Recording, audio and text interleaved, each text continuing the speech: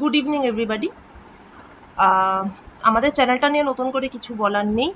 ছাত্রছাত্রীদের জীবনের একটা খুব খারাপ সময়, তাদের পাশে থাকার একটা ইচ্ছা নিয়ে আমরা শুরু করেছিলাম। একদমই সদ্যই শুরু হয়েছে আমাদের জার্নি এবং গত সপ্তাহে ফার্স্ট আগস্ট আমাদের প্রথম লাইভ সেশন ছিল সুক্তিদির সঙ্গে। ইংলিশে মুশকিল এবং তার মুশকিল আসানের কিছু রাস্তা নিয়ে। তো সেই সেশনটাতে আমরা ভালোই রেসপন্সের থেকেও বড় কথা হচ্ছে যে ছেলেমেয়েরা অনেকটাই উপকৃত এবং তারা রেগুলার পুরোদমে প্র্যাকটিস চালিয়ে যাচ্ছে। তো সেটার পরে আজকে আমাদের সঙ্গে আছেন ডক্টর রাজিবুল ইসলাম। রাজিবুল দাস সম্পর্কে, রাজিবুল দা শুধু নামটাই যথেষ্ট, কিন্তু তবুও আমি বলা উচিত তাই বলছি। রাজিবুল দা আমাদের এখানকারই ছেলে, চকদীপা হাই স্কুলে পড়েছেন, মাধ্যমিকে স্ট্যান্ড মাধ্যমিকে টপ করেছিলেন, তখনই আমরা রাজিবুল দা নামটা প্রথম জানতে পারি। তারপর নরেন্দ্রপুরে হায়ার সেকেন্ডারি যাদবপুরে বিএসসি তারপর টিআইএফআর ইউনিভার্সিটি অফ মেরিল্যান্ড তারপর হার্ভার্ডে এমআইটিতে পোস্টক এবং এখন উনি আছেন ইউনিভার্সিটি অফ ওয়াটারলুতে কোয়ান্টাম কম্পিউটিং নিয়ে রাজিবুলদা এখন মেনলি কাজ করছেন। রাজিবুলদাকে অসংখ্য ধন্যবাদ আমাদের চ্যানেলে আসার জন্য। আর আসলে মানে আমি ফিজিক্স পড়াই হলদিয়া গভর্নমেন্ট কলেজে তো স্টুডেন্টদের ফিজিক্স নিয়ে পড়াশুনো, এই ব্যাপারটা নিয়ে প্রচুর প্রশ্ন থাকে আর কি। মানে রিসার্চ নিয়ে তো থাকেই আর তাছাড়াও বিভিন্ন রকম কনফিউশন অনেক কিছু। তো সেই জন্যই রাজিবুলদাকে বলছিলাম যদি স্টুডেন্টদেরকে একটুখানি গাইডেন্স দেন আর কি মানে তাহলে ভালো হবে স্টুডেন্টদের তো আর ওরা সরাসরি কথা বলতে পারবে সেটা তো ওরা খুবই এক্সাইটেড আর কি ব্যাপারটা নিয়ে। তো তাহলে রাজবুল দা, আমরা তাহলে কি কোশ্চেন অ্যান্সার সেশনে যাব? স্টুডেন্টরা অনেক রকম প্রশ্ন দিয়ে অবশ্যই অবশ্যই। হ্যাঁ প্রথমেই আমি ধন্যবাদ জানাই দেবরিনা তোমাকে এবং বাকি যারা সকলে এসেছে, তাদের সময় থেকে সময় বার করে ফিজিক্সের আড্ডার জন্য এসেছে, সেই জন্য সেই জন্য আমার পক্ষ থেকে ধন্যবাদ। আর হ্যাঁ আমি মেদিনীপুরেরই ছেলে, ওইখানেই অনেকদিন পড়াশোনা করেছি ছোটবেলা আর আজকে যদি একটা ফিজিক্সের উপরে একটা আড্ডা হয় বিভিন্ন প্রশ্নপত্র সব সব প্রশ্নে হয়তো উত্তর দিতে পারব না কিন্তু একটা আড্ডা হিসাবে ব্যাপারটাকে ভাবা যেতে পারে। বেশ বেশ। আচ্ছা রাজীব বলতে তাহলে তোমাকে প্রথম জিজ্ঞেস করি এটা যদিও আমার নিজের প্রশ্ন। সেটা হচ্ছে তুমি সাবজেক্ট হিসাবে ফিজিক্স অনার্স কেন নিয়েছিলে? হুম। মানে সম্ভবত সব থেকে অনেস্ট এবং স্ট্রেট ফরওয়ার্ড উত্তর হচ্ছে কারণ আমার ফিজিক্স খুব ভালো লাগে, ছোটবেলা থেকে।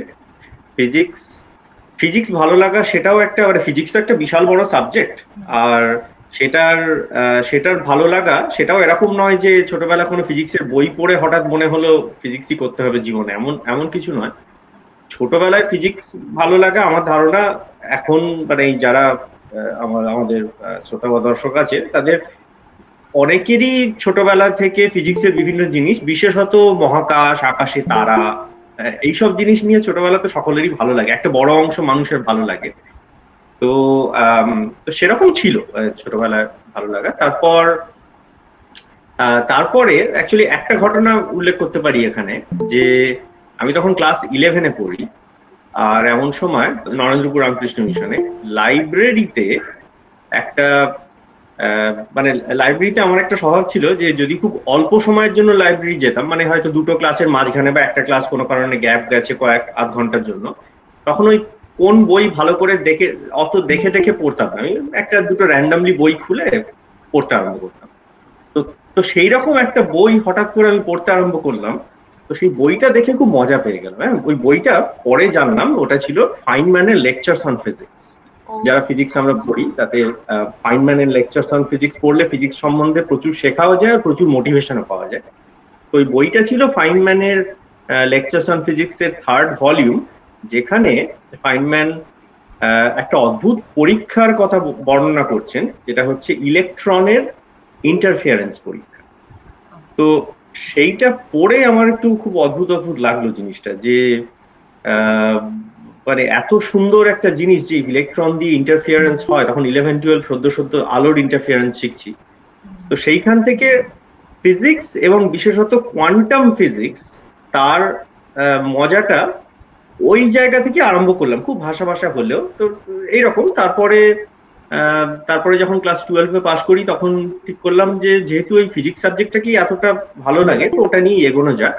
এরপর টুয়েলভের পরে Indian association for cultivation of science বলি না তুমি ভালো করে হ্যাঁ, জানো। তো সেই সেইখানে একটা সামার স্কুলের আয়োজন করে। ওটা এখনও হয় ডিপার্টমেন্ট থেকে অনেক ডিপার্টমেন্ট থেকে মিলে ওরা করেন। হ্যাঁ। তো সেইখানে আমরা ওই টুয়েলভের পরীক্ষা দেওয়ার পর থেকে রেজাল্ট বেরোনো অব্দি যে সময়টা পাওয়া যায় দু মাস মতো সময় সেই সময়টাতে ওইখানে সামার স্কুল করলাম আর সেখানে প্রচুর প্রচুর মজা পেলাম ফিজিক্স নিয়ে। বিভিন্ন জিনিসের ফিজিক্স পড়াশোনা করে। তো এইটাই হচ্ছে কারণ আর তেমন কোনো কারণ নেই। মজা পেয়েছি বলে ফিজিক্স না পড়লে আমি হয়তো ভূগোল নিয়ে পড়তাম। কারণ আমার এর পরের সব থেকে মজার বিষয় ছিল ভূগোল। ভূগোল। আচ্ছা আচ্ছা আচ্ছা। আচ্ছা আরেকটা কথা হচ্ছে তুমি কি মানে ও তার মানে তুমি রিসার্চে যাবে সেটা সম্ভবত তোমার মানে আগে থেকেই একটা সেরকম মাইন্ডসেট ছিল। সেটা হয়তো ঠিক সেটা হয়তো ঠিক হ্যাঁ, হ্যাঁ। আসলে আমি যেটা আরেকটু জিজ্ঞেস করছি এখানে কারণ আমাকে বিএস মানে আমরা যখন ধরো বিএসসি তে প্রথম ঢুকেছিলাম, তখন তো পিএইচডি ব্যাপারটা মানে অ্যাকচুয়ালি কি হয় মানে কোনো রকম আইডিয়া তো ছিলই না। আর মানে করতে, আদৌ করতে পারব সেই ব্যাপারটাও সামহাও মানে তখন তো একদম, তখন ভাবতাম ঠিক আছে, পড়ছি, তারপরে ভাববো। আর এখন যে আমি কলেজে পড়াই না স্টুডেন্টরা মোটামুটি ফার্স্ট ইয়ার সেকেন্ড ইয়ারে এখনকার জেনারেশন বেশি অ্যাডভান্সড এটা একটা ব্যাপার। তো ওরা ফার্স্ট ইয়ার সেকেন্ড ইয়ার থেকেই আমাকে জিজ্ঞেস করতে পিএইচডিতে কি হয়? কি হয় ব্যাপারটা? তো সেইগুলো এবার আমি কি বলব ওদের? মানে তুমি হলে কি বলতে? হ্যাঁ তো আমি আমিও একটা ইউনিভার্সিটিতে পড়াই এবং এখানে আন্ডার গ্রাজুয়েট লেভেলের স্টুডেন্ট পড়াই। এই প্রশ্নটা ইউনিভার্সাল যারা সদ্য সদ্য ধরা যাক হাই স্কুল থেকে পড়ে কলেজে এসেছে সবে পড়াশোনা শুরু করছে তো তাদের উদ্দেশ্যে আমি যে কথাটা বলি, মূলত আমার আমার আমার ইউনিভার্সিটি স্টুডেন্টদেরকে সেটাই আমি বলব এখানে, যে রিসার্চ বিভিন্ন বিষয় ফিজিক্সের মধ্যেও তো প্রচুর প্রচুর বিষয় রয়েছে অপটিক্স রয়েছে মেকানিক্স রয়েছে থিওরিটিক্যাল ফিজিক্স রয়েছে, বিভিন্ন এক্সপেরিমেন্টাল রয়েছে, তো খুব তাড়াতাড়ি যদি সুযোগ পাওয়া যায়, তাড়াতাড়ি মানে একদম একদম আন্ডার গ্রাজুয়েটের শুরু থেকে ফার্স্ট ইয়ার সেকেন্ড ইয়ার যদি তাড়াতাড়ি সুযোগ পাওয়া যায় তাহলে কোনো না কোনো ভাবে একটু একটু রিসার্চে লেগে পড়া ভালো। এটা যত তাড়াতাড়ি করা সম্ভব তত আচ্ছা, ভালো। আচ্ছা। খুব ছোট লেভেলে হলেও ছোট লেভেলে বলতে হয় হয়তো কোনো একজন কোনো একজনের সাথে কোনো একটা একটু নতুন ধরনের কিছু একটা রিডিং প্রজেক্ট সেটাও করা যেতে পারে। যে আমি দেখলাম ধরো যাকে এই ন্যানো ফিজিক্স নিয়ে বা ন্যানো টেকনোলজি নিয়ে এত রকম কথাবার্তা হয়। তো আমার একটা ছোট্ট হয়তো কয়েক মাসের একটা প্রজেক্ট হতে পারে। আমি একজন মাস্টারমশাইয়ের সাথে।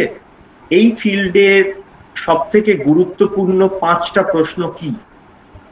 সেইটা আমি বার করতে পারি সেটা সেটা বার করার জন্য আমার কলেজে বা আমার ইউনিভার্সিটিতে যে একটা বিশাল ন্যানো টেকনোলজি ডিপার্টমেন্ট থাকবে, সেরকম নয়। সেটা মানে এখন তো গুগল সবার কাছে। গুগল স্কলার স্কলার সেখানে প্রচুর পেপার তার মধ্যে প্রচুর পেপার তো সবকিছু রেডিলি অ্যাভেলেবেল তার জন্য জার্নালের সাবস্ক্রিপশনও লাগে না গুগল স্কলার বা এই জাতীয় থেকে আর্কাইভ থেকে।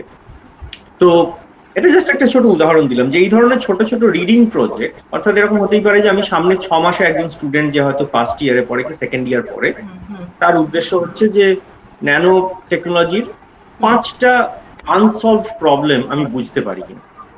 অথবা অ্যাস্ট্রোফিজিক্স অ্যাস্ট্রোফিজিক্সের পাঁচটা বা দুটো বা তিনটে যাই হোক আনসলভ সব থেকে বড় প্রবলেম যেটা নিয়ে বিভিন্ন জায়গার বিজ্ঞানীরা গবেষণা করছে এবং আনসলভ সামনের কুড়ি বছর তিরিশ বছর পঞ্চাশ বছরে আমাদের সেই প্রশ্নের উত্তর দেবো। তো এটা যেমন একটা উপায় যদি কলেজে বা ইউনিভার্সিটিতে অ্যাক্টিভ রিসার্চ গ্রুপ থাকে যেটা সব সময় সব জায়গায় হয়তো সম্ভব নয় যদি অ্যাক্টিভ রিসার্চ গ্রুপ থাকে তাহলে সেই গ্রুপের সাথে আন্ডার গ্রাজুয়েটে কাজ করা যেতে পারে। আমাদের সাথে প্রচুর আন্ডার গ্রাজুয়েট স্টুডেন্ট কাজ করে। ইনফ্যাক্ট আমার গ্রুপেই এখন প্রায় প্রত্যেক সেমেস্টারে আমার সাথে চার, পাঁচজন করে আন্ডার গ্রাজুয়েট স্টুডেন্ট কাজ করে। তো এদের সকলে যে প্রচুর সময় পাই তাই নয়, কারণ প্রত্যেকে ক্লাসের মাঝখানে অনেকে হয়তো সপ্তাহে মাত্র এই চার, পাঁচ ঘণ্টা মতো সময় দিতে পারে। কিন্তু সেটাও ঠিক আছে, সেটাও অসুবিধা নেই। মানে মূল কথাটা হচ্ছে, বক্তব্য হচ্ছে যে যদি খুব কম বয়স থেকে আইডিয়ালি এটা হাই স্কুল থেকে শুরু করা উচিত বা অন্তত কলেজের শুরু থেকে বিভিন্ন ধরনের বিষয়ে কেমন গবেষণা হয় কি ধরনের জিনিস কি ধরনের প্রশ্নের উত্তর আমরা জানি না এখন। এই নিয়ে একটু ঘাটাঘাটি একটু পড়াশোনা শুধু পড়াশোনা নয় নিজে হাতে কলমে কষাও।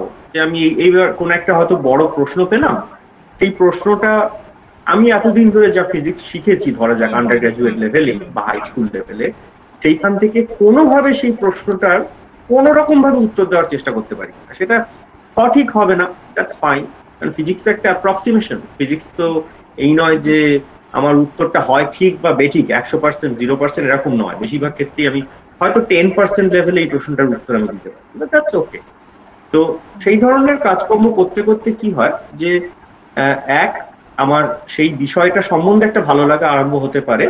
আর তার থেকেও ইম্পর্টেন্ট জিনিস আন্ডার গ্রাজুয়েট লেভেলে যে আদেও আমার মধ্যে এই রিসার্চ এ লাইনে যাওয়ার টেম্পারামেন্ট আছে কিনা মানে হ্যাঁ। এইটা আমি আদৌ এনজয় হ্যাঁ। করি কিনা। সেইটা খুব কম বয়স থেকে বুঝে যেতে হবে। সবাইকে তো রিসার্চে যেতে হবে তার কথা নেই। পৃথিবীতে কত ভালো ভালো জিনিস আছে। কেউ সাংবাদিক হতে পারে। সায়েন্সের জার্নালিজম আমাদের দেশে খুব বেশি নেই। সাইন্টিফিক জার্নালিজম সায়েন্সের জার্নালিজম করতে পারে কেউ। তো কিন্তু মূল বক্তব্য হচ্ছে খুব কম বয়স থেকে যদি এই জিনিসগুলো একটু নাড়াচাড়া করা যায় তাহলে তাহলে ছাত্র ছাত্রীরা অনেকটা ওই নিজেকে আবিষ্কার করার সুযোগ পাবে যে আমি ঠিক আমার কোন জিনিসটা ভালো লাগে। তো রাইট তো সেটাই হচ্ছে সেটাই বলব। আমি নিজে যখন কলেজে ছিলাম তখন যেহেতু যাদবপুরে পড়তাম আশেপাশে অনেক রিসার্চ ইনস্টিটিউট ছিল কাল্টিভেশন অফ সায়েন্স তারপর সিএসআইআর পাশেই ছিল। তো সেই সমস্ত জায়গায় মিলে আমি অনেক ওই ধরনের ওখানকার ল্যাবে বা প্রফেসরদের সাথে অনেক ছোট ছোট ছোট ছোট প্রজেক্টে কাজ করতাম। আচ্ছা। তো সেইখান থেকে সেইখান থেকে আমি কাইন্ড অফ নিজেকে আবিষ্কার করেছিলাম যে আমার প্যাশন হচ্ছে এই কোয়ান্টাম ফিজিক্স অপটিক্স এই জাতীয় জায়গা। আচ্ছা। তার ফলে পরবর্তীকালে কখনো আমার মনে কনফিউশন হয়নি যে আমি কি করতে চাই। অলরেডি আমি জানি যে ওই জায়গাটা আমার ভালো লাগার জায়গা। আচ্ছা তুমি এটা যখন বললে তাহলে এটাও জিজ্ঞেস করি যে বিএসসি বা এমএসসি ফিজিক্সে করার পর হ্যাঁ কোনো একজন স্টুডেন্টের যদি মনে হয় যে আমি ঠিক রিসার্চটা আমার অতটাও এনজয় মানে করব না হ্যাঁ তো তখন সে যদি অন্য কোনো লাইনে যেতে চায়। তো মানে সেরকম ঠিকঠাক কেরিয়ার অপশন বা সেরকম লাইন কি আছে? বিএসসি বা এমএসসি এর পরে? কিন্তু ফিজিক্স রিলেটেড এটা আমাকে অনেকেই বলে যে ফিজিক্সটা ভালো লাগে, কিন্তু রিসার্চটা হয়তো অতটা সেক্ষেত্রে সে রাইট অনেক রকমই অপশন আছে। যেমন দেখো ফিজিক্স এমন একটা সাবজেক্ট যেখানে যেখানে স্টুডেন্টরা কেবলমাত্র যে কিছু ফর্মুলা শিখছে বা কিছু মানে কিছু পার্টিকুলার টপিক এর ইনফরমেশন শিখছে তা তো নয়। ফিজিক্স একটা ভাবনা চিন্তা করার নেচারের প্রশ্নগুলো সম্বন্ধে একটা ফ্রেমওয়ার্ক তৈরি করে। একটা ভালো আন্ডার গ্রাজুয়েট কোর্স বা একটা ভালো আন্ডার গ্রাজুয়েট প্রোগ্রামের সেটাই উদ্দেশ্য হওয়া উচিত যে ওই ভাবনা চিন কি করে ভাবতে হয় প্রশ্ন সম্বন্ধে সেই সেই সেই জায়গাটা একটা ভিত তৈরি করে দেওয়া। তো সেইটাকে বেস করে অনেক জায়গায় কাজ করা যায়। যেমন ধরা যাক প্রচুর টেকনিক্যাল কোম্পানি যে টেকনিক্যাল কোম্পানির আর তো আনফর্চুনেটলি হয়তো আমাদের পশ্চিমবঙ্গ বা কলকাতায় এই ধরনের জিনিসগুলো খুব বেশি নেই। কিন্তু আমাদের দেশে আমরা জানি ব্যাঙ্গালোর সেখানে প্রচুর টেকনিক্যাল কোম্পানি রয়েছে বা দিল্লি অঞ্চলেও রয়েছে পুনে অঞ্চলে রয়েছে। তো এই ধরনের টেকনিক্যাল কোম্পানির আর এন ডি সেখানেও তো আমার ধারণা প্রচুর ফিজিক্স নেওয়া হয়। শুধু তাই না একটা ঘটনা এক্ষুনি মনে পড়ল ম্যাথামেটিকা সফটওয়্যারের কথা হয়তো আমরা অনেকেই জানি করি। তো ম্যাথামেটিকা সফটওয়্যার উলফ্রাম ম্যাথামেটিকা তো উলফ্রাম হচ্ছে হ্যাঁ স্টিফেন উলফ্রাম উনি ওনার উনি থাকেন এতে কেমব্রিজ কেমব্রিজ শহর মানে ম্যাসাচুসেটস হার্ভার্ডের কাছেই থাকেন। তো আমি যখন হার্ভার্ডে গবেষণা করি, তখন আমাদের হার্ভার্ড ডিপার্টমেন্টের ফিজিক্স ডিপার্টমেন্টের head of the department Melissa Franklin তো ওনার বন্ধু হচ্ছেন স্টিফেন উলফ্রাম ছোটবেলার বন্ধু। তো ওনাকে ডেকেছিলেন একবার স্কলারদের সাথে একটা খোলামেলা আলোচনা করার জন্য আড্ডা তো তাতে উলফ্রামকে আমরা একই প্রশ্ন করেছিলাম যে আচ্ছা ম্যাথামেটিকা এইখানে এটা একটা ল্যাঙ্গুয়েজ যে ল্যাঙ্গুয়েজটা আমরা ফিজিক্সে ব্যবহার করি, যে ল্যাঙ্গুয়েজ কেমিস্ট্রি লোকেরা ব্যবহার করে। তো আপনারা যখন রিক্রুট করেন ম্যাথামেটিকাতে তখন তাদের রিক্রুট করেন? আপনারা কি কম্পিউটার সায়েন্সের স্টুডেন্টদেরকে রিক্রুট করেন বেশি না অঙ্কের স্টুডেন্টদেরকে তো ওনার উত্তরটা আমাদের খুব অবাক করিয়েছিল। তো ওনার উত্তর ছিল যে শুরুর দিকে যখন ম্যাথামেটিক্যাল সবে শুরু হয় তখন ওনারা অনেক বেশি কম্পিউটার সায়েন্স যেহেতু এটা পুরো একটা কম্পিউটার কোডিং এর কাজ স্টুডেন্টদেরকে রিক্রুট করতো। ইদানিং ইদানিং বলতে এটাও আমি দু হাজার চোদ্দ টদ্দোর ঘটনা বলছি তো ছ বছর হয়ে গেল। তো সেই সময় ওনারা কম্পিউটার সায়েন্সের থেকে ফিজিক্সের স্টুডেন্টদের অনেক বেশি রিক্রুট করছে। এই আচ্ছা। কারণে রাইট এই কারণে মানে উলফ্রামের নিজের বক্তব্য যেটা যে ফিজিক্সের স্টুডেন্টদের মধ্যে একটা প্রবলেম সলভ করার যে মেন্টালিটি পাওয়া যায় সেইটা সেই স্কিলটা ওরা কিন্তু যে কোনো জায়গায় ট্রান্সলেট করতে পারে। অর্থাৎ আমি একটা ম্যাথামেটিকে একটা প্রবলেম সলভ করছি। প্রবলেম বলতে কি আমাকে এমন একটা কোড বেস করতে হচ্ছে যেটা একটা সুন্দর প্লটের ভিজুয়ালাইজেশন করতে পারে। এটা একটা প্রবলেম এই প্রবলেমের জন্য হয়তো টুলস লাগবে কম্পিউটার সায়েন্স টুলস কিন্তু এই প্রবলেম সলভ করার যে স্কিল মেন্টালিটি সেইটা ফিজিক্সের স্টুডেন্টের অনেক আচ্ছা। বেশি। উনি যেটা পেয়েছেন ফিজিক্স ট্রেনিং এ। তো এটা আর এটা যেমন একটা বললাম একটা একটা উপায় একটা ক্যারিয়ার অপশন প্রচুর এ ধরনের কোম্পানি রয়েছে ব্রডলি স্পিকিং তারপর আরও প্রচুর স্টুডেন্ট যারা ফিজিক্সে ফিজিক্সের ব্যাকগ্রাউন্ড থেকে তারা যেমন আজকাল বিভিন্ন আর্টিফিশিয়াল ইন্টেলিজেন্স বা মেশিন লার্নিং সেই জাতীয় ডেটা সায়েন্স। এক্স্যাক্ট সেই ধরনের প্রচুর কোম্পানিতে যায় এবং সেখানে যায় কেন? সেটাও আবার যে ফিজিক্সের again the problem solving skills যেটা ফিজিক্স শেখায়।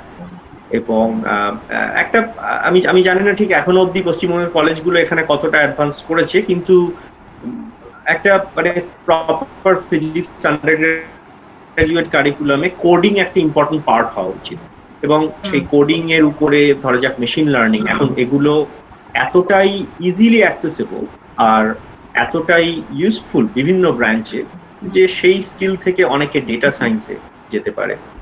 তারপর আরেকটা আরেকটা ডিরেকশন যেটা আমাদের দেশে খুব অভাব আমার মনে হয় সেটা বলি না তুমি ভালো করেই জানো আমরা এই প্রচেষ্টার সাথে যুক্ত সেটা হচ্ছে সায়েন্স জার্নালিজম ঠিক ঠিক ঠিক। যেটা। আমি সেটা নিয়ে সায়েন্স রাইটার হ্যাঁ।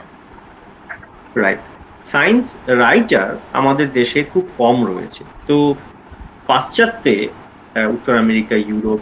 এ ধরনের জায়গাগুলোতে যা হয় যে প্রচুর সংখ্যক স্টুডেন্ট তারা ফিজিক্সে পিএইচডি করার পরেও শুধু মাস্টার্স লেভেলে নয় পিএইচডি করার পরেও তারা বিভিন্ন অর্গানাইজেশনে জয়েন করে সায়েন্স নিয়ে লেখালেখি করতে এবং exactly. আচ্ছা।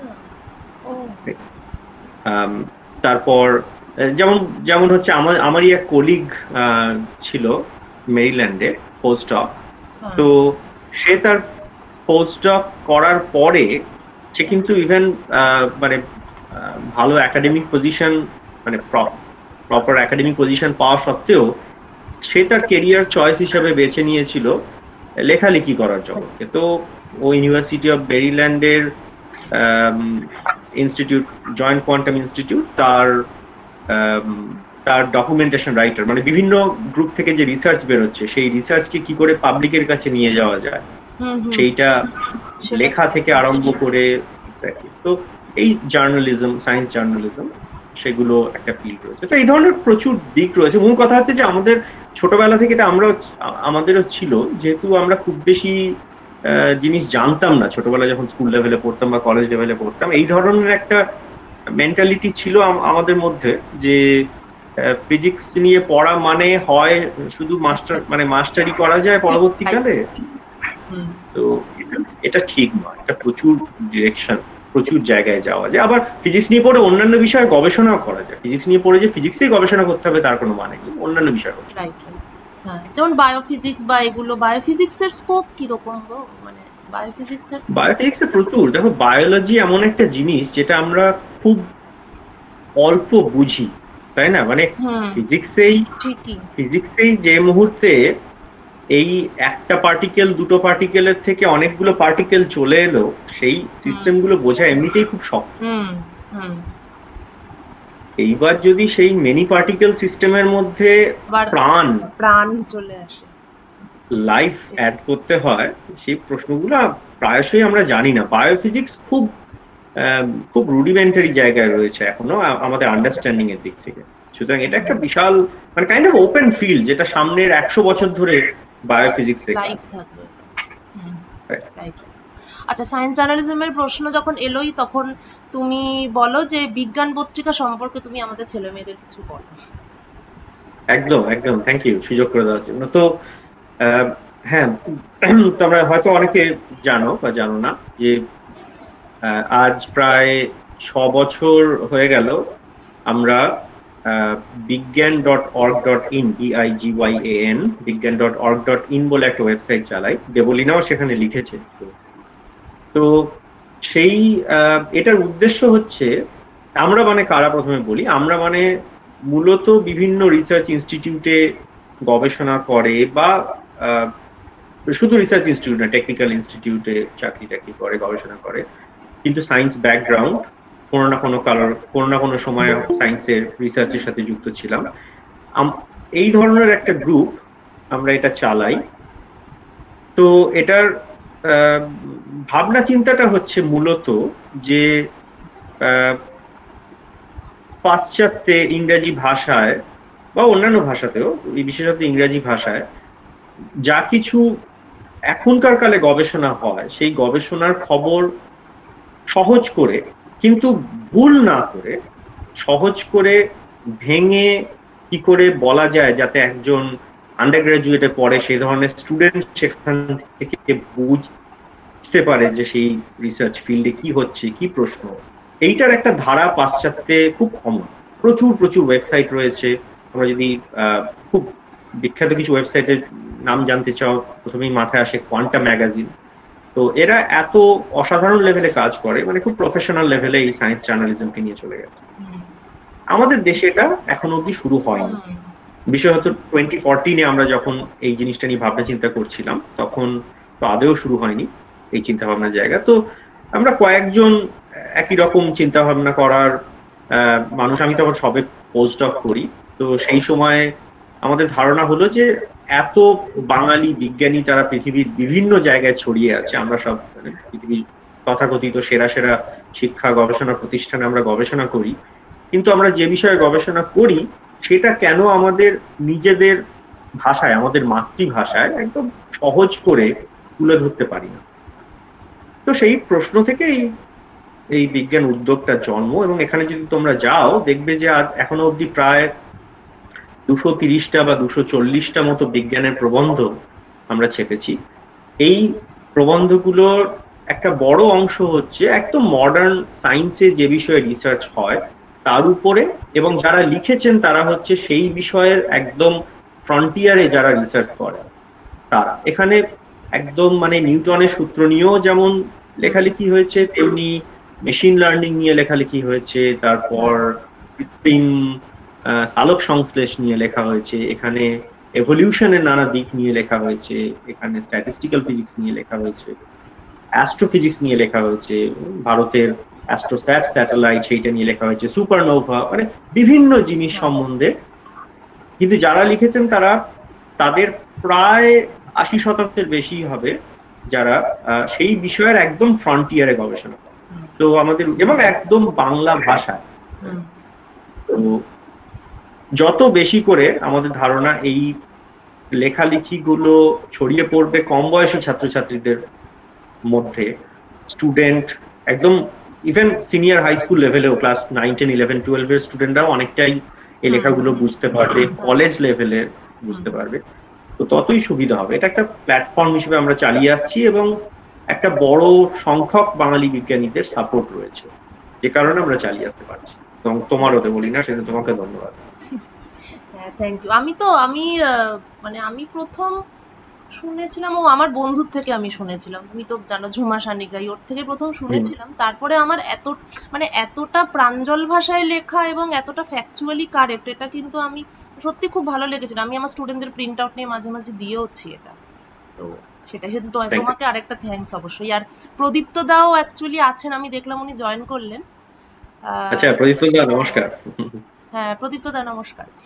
হ্যাঁ ঠিক আছে নমস্কার আচ্ছা। এরপর আচ্ছা সৌভিক দাস। থেকে দেখতে পাচ্ছি না। এক মিনিট। ছবি দাসকে আমার স্ক্রিনে দেখতে পাচ্ছি। ও আচ্ছা আচ্ছা ঠিক আছে। আমি তোমাকে তোমাকে আমার স্ক্রিনে দেখতে পাচ্ছিলাম না খুঁজছিলাম। আচ্ছা বলছে যে সৌভিক দাস একটা ইন্টারেস্টিং প্রশ্ন করেছে সেটা হচ্ছে যে কেমন করে ফিজিক্সটা শেখা বা পড়া উচিত? এটা খুব ইন্টারেস্টিং প্রশ্ন। এটা খুব সহজ কিন্তু অনেক প্রশ্ন হয় খুব ডিসেপটিভলি সিম্পল এটা হচ্ছে সেই ধরনের প্রশ্ন। এটার কোনো যে এক কোনো যে একটা উত্তর হয় সেরকম নয়। এটা নানা মুনির নানা মত হবে। তো আহ, আমি যেভাবে ফিজিক্স পড়তে নিজে শিখেছিলাম বা যেভাবে আমার স্টুডেন্টদেরকে এনকারেজ করি, তা হচ্ছে ফিজিক্স পড়াটা না করতে মানে ফিজিক্স পড়ার থেকে ফিজিক্স করা, সেটাতে যদি স্ট্রেস দেওয়া যায়, সেটা একটু বেটার ফিজিক্স করা মানে কি বলছি? যে, দেখো যে কোনো জিনিসেই যে কোনো সাবজেক্টে শেখা আর পড়া এই দুটোর মধ্যে পার্থক্য করা উচিত। আমার কাছে একটা বই রয়েছে, সেই বইটা থেকে আমি পড়তে পারি। কিছু জিনিস আমার মাথায় ঢুকলো এবং সেটাই পরীক্ষার জন্য হয়তো ব্যবহার করলাম বা সেটা দিয়ে কিছু প্রবলেম সলভ করলাম। এটা এক ধরনের। আরেক ধরনের জিনিস হচ্ছে যে সেই একই জিনিসে আমি শিখব, কিন্তু অনেকটা নিজে থেকে স্ট্রাগল করে শেখা মানে বইতে থাকলেও। একটা উদাহরণ দিচ্ছি। ধরা যাক ধরা যাক রিলেটিভিটি সেই রিলেটিভিটি অনেকেই আন্ডার গ্রাজুয়েট লেভেলে আমরা রিলেটিভিটি পড়ি। তো যখন আমি নিজে রিলেটিভিটি পড়েছিলাম যাদবপুরে, এরকম একটা অ্যাপ্রোচ নিয়েছিলাম। সেখানে কিছু অসাধারণ মাস্টারমশাইয়ের এতেই মানে মোটি ইন্সপিরেশনে যে রিলেটিভিটিতে আমরা কি জিনিসটা ধরে নিতে পারি? সেটা হচ্ছে একটা রিলেটিভিস্টিক ইনভ্যারিয়েন্স বলে একটা জিনিস আছে। ঠিক আছে? আমি যদি একটা স্পেস আর টাইম হয়, তাহলে টাইম যদি টি আর স্পেস যদি একটা ওয়ান ডিমেনশনাল স্পেস এক্স বলি, তাহলে c square t square minus x square এটা হচ্ছে একটা কনজার্ভ কোয়ান্টিটি মানে এটা ইন্ডিপেন্ডেন্ট অফ কোন ফ্রেমে আছে। এইবার, এইটা ঠিক আছে, এটা আমি বই থেকে জানলাম, কারণ রিলেটিভিটি হয়তো আমার মাথা থেকে বেরোবে না মানে তাহলে তো সবাই আইনস্টাইন হয়ে যাবে, সেরকম ঠিক আছে? সেটা আমি বই থেকে দেখলাম। কিন্তু এরপরে সেই গল্পটাকে কাজে লাগিয়ে আর কি কি জিনিস বার করা যায়, সেইগুলো যখন আমি পড়ছি, তখন টেক্সট বই থেকে সব জিনিস পড়তে হবে কেন? কারণ ওই ইনভেরিয়েন্সের মধ্যেই তো সবকিছু রয়েছে। তখন এরকম একটা অ্যাপ্রোচ করতে পারি। ধরা যাক, টেক্সট বইটা প্রথমে আমি একটু খুব তাড়াতাড়ি ওপর ওপর পড়ে নিলাম, খুব গভীরভাবে না দেখে যেখানে লোকে কি জিনিস নিয়ে আলোচনা করছে। তখন দেখলাম যে আচ্ছা একটা জিনিস হচ্ছে যে কেউ যদি কারও যদি গতি থাকে, তার সাথে সময়ের একটা সম্পর্ক এরকম একটা জিনিস। তখন তো সেইটা ঠিক আছে, এটা হয়তো আমি বই থেকে দেখলাম। এবার এই করার গল্পটা কি বলছি? করার গল্পটা হচ্ছে, এইবার দেখা যাক এই রিলেটিভিস্টিক ইনভ্যারিয়েন্সটা থেকে আমি যদি শুরু করি, করে বইয়ের সাহায্য না নিয়ে মানে বই কীভাবে ডেরিভেশন করেছে আদপেই সেটা না পড়ে, ওই যে একটা স্টেটমেন্ট করলাম যে গতির সাথে সময়ের পাল্টানোর একটা সম্পর্ক আছে, এই বেসিক জায়গা থেকে আমি নিজে নিজেই বার করতে পারি। ঠিক আছে? খানিকটা সময় লাগবে। তো। আন্ডার গ্রাজুয়েট লেভেলে এই করে কিন্তু আমি বলতে পারি যে রিলেটিভিটি একটা জাস্ট উদাহরণ, আরও অনেক সাবজেক্টের অনেকটা অংশ আমরা নিজে নিজেই বার করা যায়। ঠিক আছে? তখন কি হবে? মানে সব যে সম্ভব তা তো নয়, তা হবে না। কিন্তু আমি যদি অ্যাটলিস্ট এই স্ট্রাগলটা করি, তখন কি হবে যে আমার কাছে খুব স্পষ্ট হবে যে কোন জিনিসটা শক্ত আর কোন জিনিসটা আমি ঠিক জানি না। যে মোমেন্টে বা কোন জিনিসটা আমি পারছি না রাইট যে মোমেন্টে আমি জানি আমি কোথায় আটকে আছি মানে আমার আমার মনের মধ্যে প্রশ্নটা খুব স্পষ্ট। তারপরে আমি যদি বইটা খুলি পড়তে যাই তখন আহ, ওই একই একই ইনফরমেশন পড়ছি কিন্তু সেই ইনফরমেশনটা অনেক বেশি করে আমাদের ভিতরে ঢুকবে কারণ আমি জানি কোন জায়গাটায় আমি আটকে গেছি। এটা হচ্ছে একটা অ্যাপ্রোচ মানে আমি নিজে যখন করছি তখন আমি কোথাও একটা আটকাচ্ছি তখন আমি বেটার অ্যাপ্রিসিয়েট করতে পারছি যে মানে মানে কোন একদম। আচ্ছা। একদম। আচ্ছা, আচ্ছা। সেখান থেকে শেখাটা অনেক বেশি হয়। আরেকটা অ্যাপ্রোচ বলছি সেটা হচ্ছে ভালো প্রবলেম সেইটা করার কোনো বিকল্প নেই। ভালো প্রবলেম বলতে কি কি বোঝাই? ভালো প্রবলেম হচ্ছে একটা উদাহরণ দিচ্ছি। আমাদের এতে আন্ডার গ্রাজুয়েটে পড়ার সময় আমরা কয়েকজন বন্ধু মিলে আমরা একটা ছোট গ্রুপ তৈরি করেছিলাম, যেটা আরেকটা ইম্পর্টেন্ট জিনিস ফিজিক্স শেখা। যে শেখা মানে শুধুমাত্র তো বই থেকে বা মাস্টারমশাইয়ের কাছে শিখব তা নয়, শেখার একটা অন্যতম গুরুত্বপূর্ণ হচ্ছে বন্ধুদের কাছ থেকে শেখা। ঠিক আছে? কীভাবে? তো আমরা তিন চারজন বন্ধু মিলে আমরা একটা গ্রুপ তৈরি করেছিলাম ফিজিক্সের এবং সেখানে কাল্টিভেশন অফ সায়েন্সে আমাদের অনেক মাস্টারমশাই আমাদের হেল্প হেল্প করতেন, পড়াতে আসতেন। তো কেমন কোনোটাই সিলেবাস ভিত্তিক পড়ানো হয় খালি ফিজিক্সটা শিখব এইখান থেকে। তো সেখান, সেখানে ফাইনম্যানেরই কিছু প্রবলেম ফাইনম্যান দিয়েছিলেন। একটা প্রবলেম বইও আছে ফাইনম্যানের। তো সেখান থেকে ধরা যাক, আমি একটা প্রবলেম বেছে নিলাম। অনেক প্রবলেম এই মুহূর্তে যেটা মাথায় আসছে যে, এরকম একটা প্রবলেম ছিল, ধরা যাক একটা নিউক্লিয়াস এবার সেই নিউক্লিয়াসের মধ্যে এতগুলো প্রোটন এতগুলো নিউট্রন আছে। এবার প্রশ্ন হচ্ছে যে নিউক্লিয়াসটা ভেঙে যেতে পারে কিনা? মানে এটা খানিকটা ফান্ডামেন্টালি রেডিও অ্যাক্টিভিটি টাইপের প্রবলেম যে নিউক্লিয়াসটা স্টেবল নাকি ভেঙে যেতে পারে? এটা হচ্ছে প্রশ্ন। আচ্ছা। তো এটাকে আমি কীভাবে করব? এই প্রবলেমটা ধরা যাক আমার মাথায় এলো। তখন আমরা যেভাবে ভাবছিলাম আমরা গ্রুপের মধ্যে যে এটার জন্য বইতে ওই নিউক্লিয়াসটা কি করে খোঁজা ওই তথ্যের মধ্যে আমরা যাব। আমরা ফিজিক্সে এখন অব্দি কি কি শিখেছি সেইটাকে ব্যবহার করে খুব সহজ অঙ্ক কোষে আমরা এই প্রশ্নের মোটামুটি একটা উত্তর দিতে পারব কিনা সেটা দেখা যায় তো যেমন ওই প্রশ্নের উত্তর হচ্ছে আচ্ছা আমি যদি একটা নিউক্লিয়াস ভেঙে যাবে না যাবে না এটা এটা এটা মানে কি? এটা হতে পারে যে আমরা জানি নেচারে সবসময় একটা কম এনার্জির দিকে যাওয়ার একটা প্রবণতা থাকে। তার মানে আমরা যদি ওই যে দুটো খণ্ড ধরা যাক হাফ হাফ ভেঙে গেল জাস্ট গল্পের মানে একটা ইনিশিয়াল শুরু করার জন্য। এই হাফ হাফ যে ভেঙে গেল এবার এই দুটো নিউক্লিয়াসের আমরা যদি কোনোভাবে পোটেনশিয়াল এনার্জিটা মাপ ক্যালকুলেট করতে পারি বা এস্টিমেট করতে পারি খুব সিম্পল আর আমরা যদি বড় নিউক্লিয়াসটার পোটেনশিয়াল এনার্জি এস্টিমেট করতে পারি যদি আমরা দেখি যে ছোট দুটো নিউক্লিয়াসের sum of their potential energies বড় নিউক্লিয়াসটার পোটেনশিয়াল এনার্জি থেকে কম হয় তার মানে ওই দুটো নিউক্লিয়াসে ভেঙে যাওয়া সেটা একটা energetically favourable energetically favour Right. Hmm hmm. তো তখন আমরা ভাবলাম আচ্ছা এখান থেকে অনেক প্রশ্ন বেরিয়ে এলো। আমি নিউক্লিয়াসের পোটেনশিয়াল এনার্জি কীভাবে মাপবো? হ্যাঁ। ঠিক আছে? বা কীভাবে ক্যালকুলেট করব? তো সেটার একটা উপায় হচ্ছে যে ঠিক আছে দেখা যায় পোটেনশিয়াল এনার্জি সংজ্ঞাটা আমরা তো জানি এবং সেখান থেকে একটা সিম্পল কিছু অ্যাপ্রক্সিমেশন করতে হবে। আমি জানি যে আমার মানে একটা একটা নিউক্লিয়ান আর একটা নিউক্লিয়ান সেটাকে কীভাবে কোন ফোর্স দিয়ে অ্যাট্রাক্ট করে স্ট্রং ফোর্স সেখান থেকে একটা এস্টিমেট করা যায় কিনা। তো মানে আমি যেটা বলার চেষ্টা করছি যে আমার কাছে যদি একটা প্রশ্ন থাকে যে প্রশ্নটা ভালো প্রশ্ন ভালো প্রশ্ন মানে এই ধরনের প্রশ্ন যেটা রিয়েলিস্টিক আর ফিজিক্সের বেশিরভাগ ভালো প্রশ্নেরই কোনো একটা উত্তর হয় না অনেকভাবে উত্তর দেওয়া হয় তো মানে যে প্রশ্নগুলো আমার খুব ভালো লাগে না হুম ভালো প্রশ্ন নয় সেটা হচ্ছে অনেক সময় বিষয় হয়তো সিলেবাস ভিত্তিক বইগুলোর পিছনে একটা ওই ব্লক এঁকে দেওয়া থাকে এম হ্যাঁ। ভর সেই এম ভরের বস্তু ভি দিয়ে এগোচ্ছে। মানে সেগুলো এতটা, ওগুলো মানে প্রশ্নগুলোর উত্তর দেওয়া উচিত। শুরুর দিকে আমরা যখন শিখছি কোন একটা থিওরি কিন্তু আলটিমেটলি এই ধরনের প্রশ্ন যেগুলো অনেক বেশি ভাবায়, অনেকগুলো ওপেন এন্ডেড এবং খানিকটা ভেগ সেইগুলো আমাদের মধ্যে, সেই প্রশ্নগুলো সলভ করতে করতে আরও অনেক প্রশ্ন বেরিয়ে আসে। তো এবার সেই, এই একটা প্রশ্ন সলভ করার মাধ্যমে আমরা কিন্তু অনেকগুলো জায়গা কভার করে ফেলি। ঠিক আছে? তো এইটা একটা অ্যাপ্রোচ বন্ধুদের মধ্যে গ্রুপ করে এই ধরনের শক্ত প্রশ্ন ভেগ প্রশ্ন সলভ করা। হ্যাঁ এটা একটা প্রশ্ন। তো আরেকটা ঘটনা মনে করছি তুমি আমি বললাম টিআইএফআর এ পড়তে গিয়েছিলাম যাদবপুরের পরে।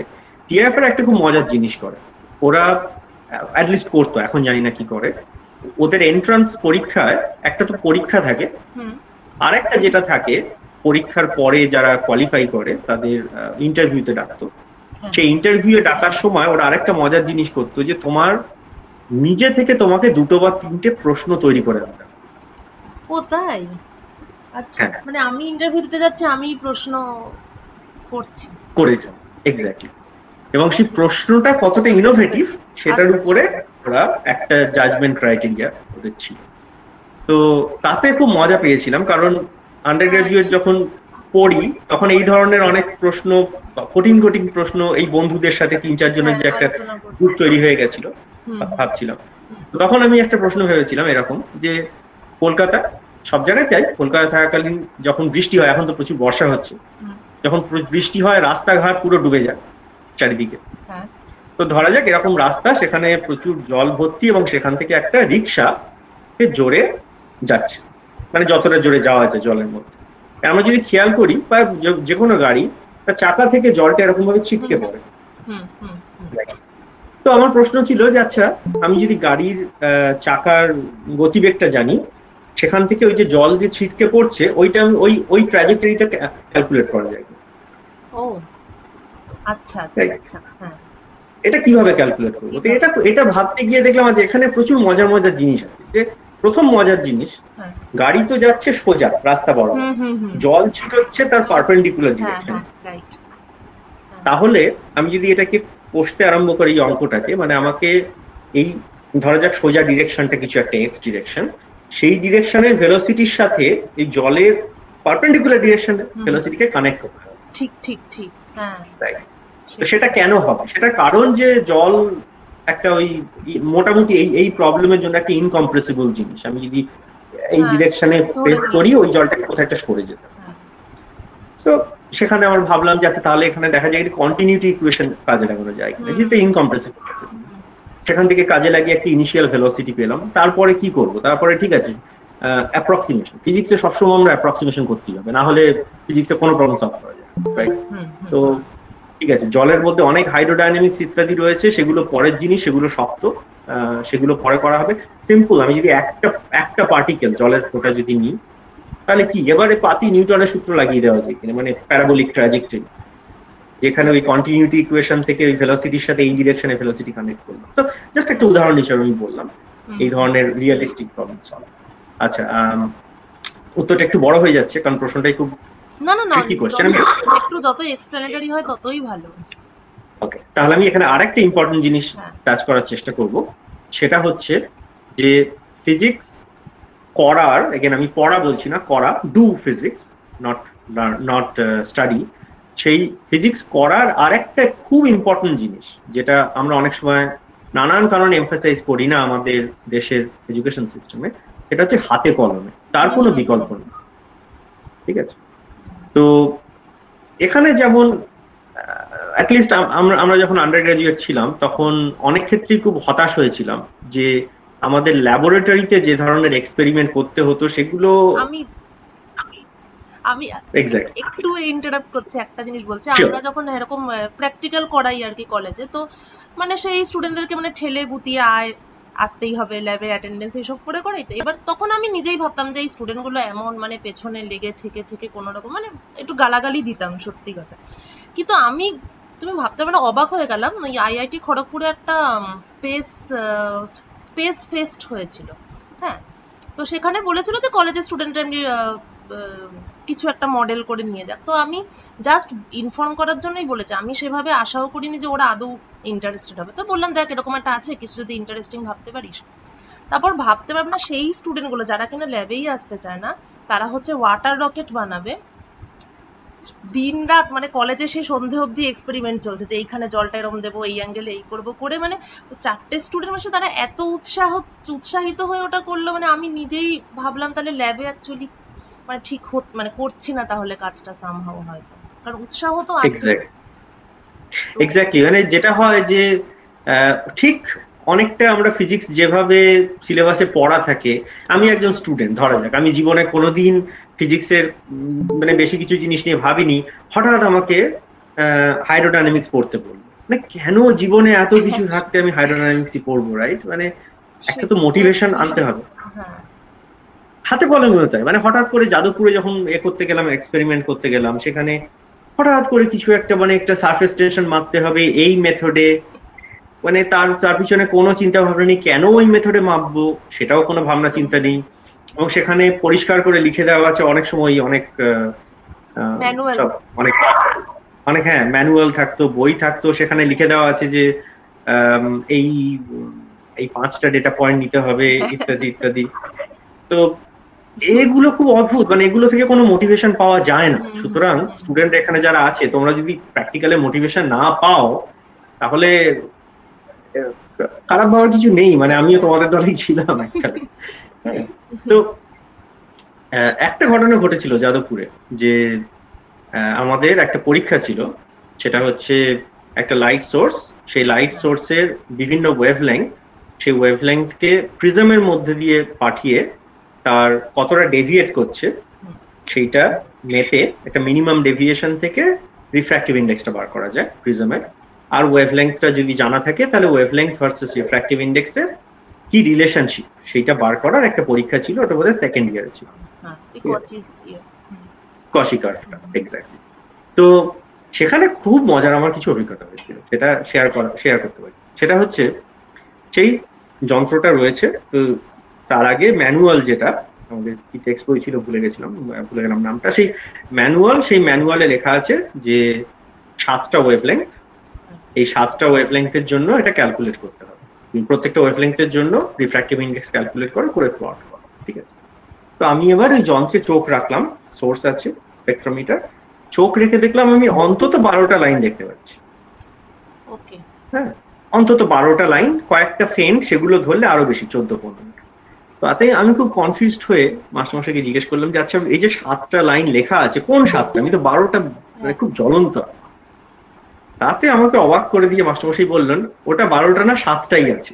এইটা আমি খুব একটা এক্সিস্টেন্সিয়াল ক্রাইসিসে পড়ে গেলাম যে, তাহলে হয় আমার চোখের সমস্যা, আমি দেখতে পাচ্ছি না, আর আমি পড়ি, অথবা আমি গুনতে পারি না, অথবা এই সোর্সটা পাল্টে দিয়েছে কেউ রাতারাতি। কিছু একটা তো হয়েছে, কারণ আমি চোখের সামনে বারোটা ওয়েভলেংথ দেখতে পাচ্ছি। আর বইয়ের ম্যানুয়ালে আছে সাতটাই দেখতে পাওয়া উচিত। হ্যাঁ। তো তো সেখানে অনেক কাণ্ড হয়েছিল। তারপরে আমি খুব ওটা নিয়ে অনেক মজা পাই। মজা পেয়ে আমি যেটা করি যেভাবে সলভ করি যে ওই বারোটা ওয়েভলেংথের মধ্যে কিছু কিছু ওয়েভলেংথ আনঅ্যাম্বিগুয়াস ছিল। যেমন হলুদ। ঠিক। হলুদের ওয়েভলেংথ আমরা রাফলি জানি। কোনো তো। এক্স্যাক্টলি তো এরকম আনঅ্যাম্বিগুয়াস সাতটা সাতটা না বোধহয় পাঁচটা না ছটা ওয়েভলেংথ পেয়েছিলাম।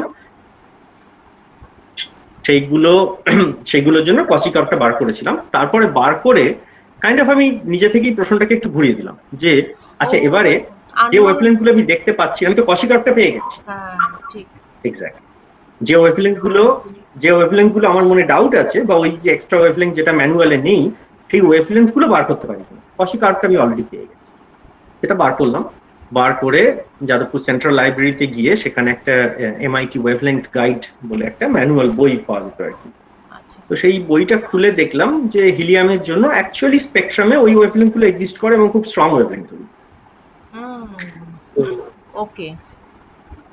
কিন্তু ঘটনা হচ্ছে যে এগুলো করতে তো সময় লাগে যে কোনো জিনিস ভালো করে করতে তো এটা করতে আমার যে প্র্যাকটিক্যালের জন্য দুদিন বা তিন দিন স্টিপুলেটেড টাইম ছিল তার থেকে এক দুদিন এক্সট্রা তাতে প্রচুর পেনালাইজড হতে হয়েছিল। কিন্তু এইসব করে প্রচুর মজা পেয়ে গেছি হ্যাঁ। হাতে ঠিক। আচ্ছা বলি না হ্যাঁ। আমি একটু এক আহ, তিরিশ সেকেন্ড আমি রাজীবুলকে ইন্টারাপ্ট করছি।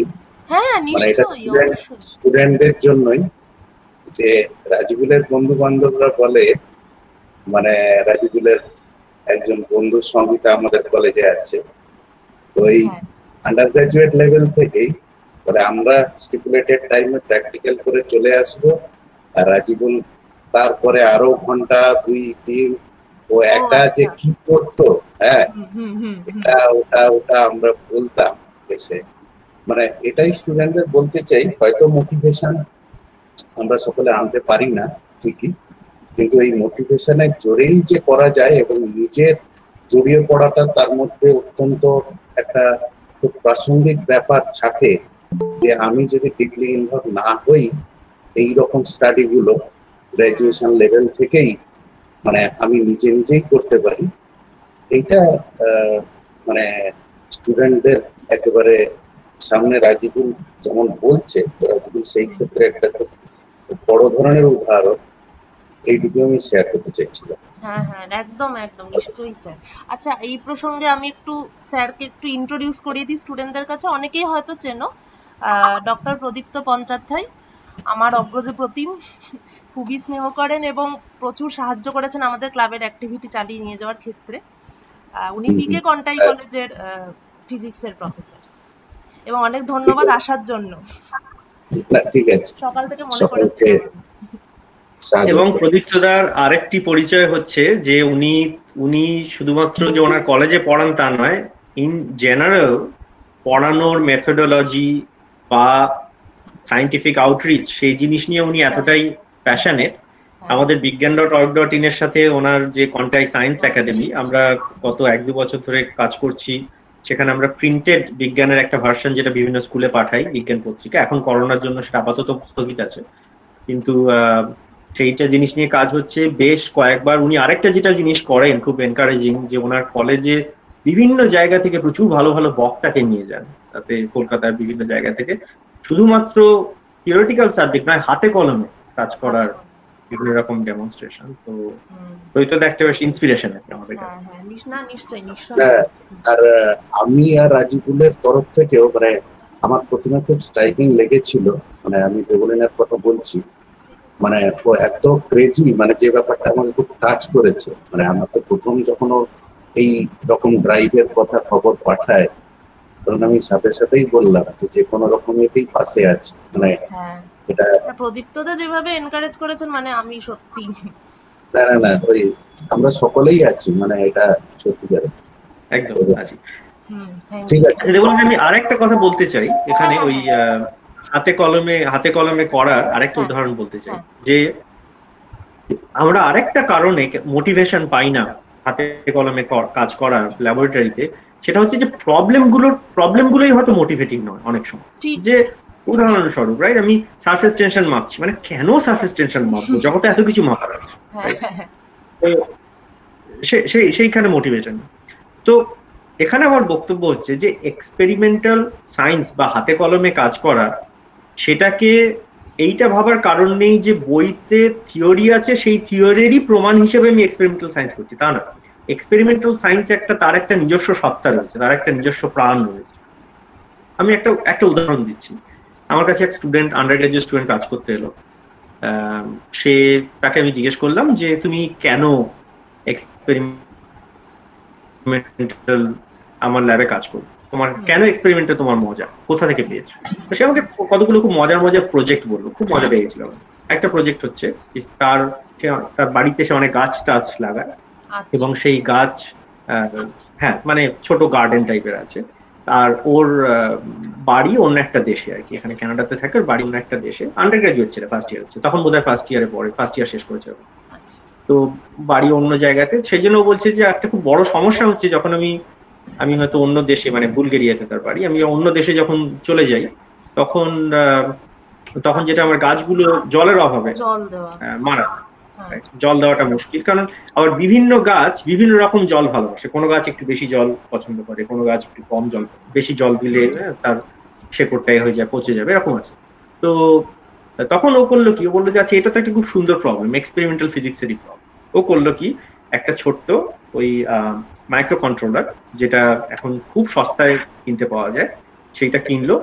কিনে ওদের জলের যে ট্যাপ কল রয়েছে সেই ট্যাপ কলের সাথে একটা ভাল্ভ ওই ভাল্ভটাকে মাইক্রো কন্ট্রোলার দিয়ে কন্ট্রোল করছে। কন্ট্রোল আচ্ছা। করে পুরো জিনিসটা এমনভাবে প্রোগ্রাম করে ফেলল যে ওখানে যাতে এবং প্রত্যেকটা গাছ কি ফ্রিকোয়েন্সিতে ওই ট্যাপের ভাল্ভটা খুলবে কতক্ষণ ধরে সেটাও আচ্ছা। পুরোটা প্রোগ্রাম করে আচ্ছা আচ্ছা। মানে কি ফ্রিকোয়েন্সিতে এবং কতটা অ্যামাউন্ট কতটা পুরোটা প্রোগ্রাম করে। আচ্ছা। তো সেই মানে এই ধরনের একটা জিনিস তারপর আমার আরেক স্টুডেন্ট আছে সে ধরনের প্রচুর ছোট ছোট মজার কাজ করে তার বাড়িতে বিশেষত এখন করোনার জন্য তো ল্যাবে সবাই আসতে পারছে না।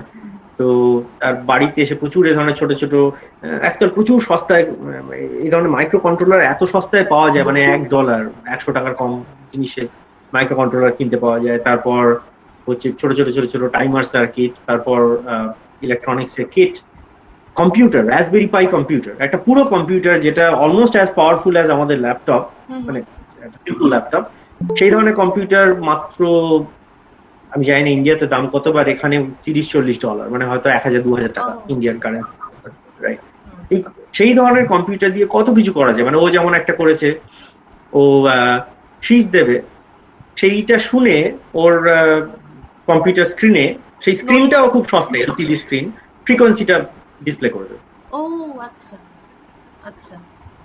হ্যাঁ তো এই প্রবলেমগুলো যেগুলো মানে আমার বক্তব্য হচ্ছে এই প্রবলেমগুলো যে প্রবলেমগুলো অনেক বেশি মোটিভেটিং রিয়েল লাইফ থেকে আমি গাছে জল দেবো নাহলে সে মরে যাবে। হ্যাঁ আমি একটা গান করার চেষ্টা করছি তা দেখা যায় ফ্রিকোয়েন্সিটা শুধু তাই নয় শুধু ফ্রিকোয়েন্সি নাম্বার দেওয়া না আমি যদি ফ্রিকোয়েন্সিটা বেশি হয় রংটা হয়তো লাল হয়ে গেল ডিসপ্লের রংটা। ফ্রিকোয়েন্সি কম হলে রংটা সবুজ হয়ে গেল। কালার এবার আমি একটা রবীন্দ্রসঙ্গীত সেই রবীন্দ্রসঙ্গীতকে রঙের মাধ্যমে দেখতে পাই কিনা। সুরটা ওঠানামা করছে তার একটা রংটা ওঠানামা করছে। তো এই ধরনের প্রচুর প্রবলেম এইগুলো এক্সপেরিমেন্টাল ফিজিক্সে হাতে কলমে করতে করতে চলে আসে। তো এই এই প্রশ্নটা ফাইনালি আমি আরেকটা কথা যেটা বলে শেষ করব সেটা হচ্ছে যে এই হাতে কলমে করার এটা আমাদের দেশে প্রচণ্ড পরিমাণে দরকার এবং একটা খুব বড় লেভেলে অভাব রয়েছে।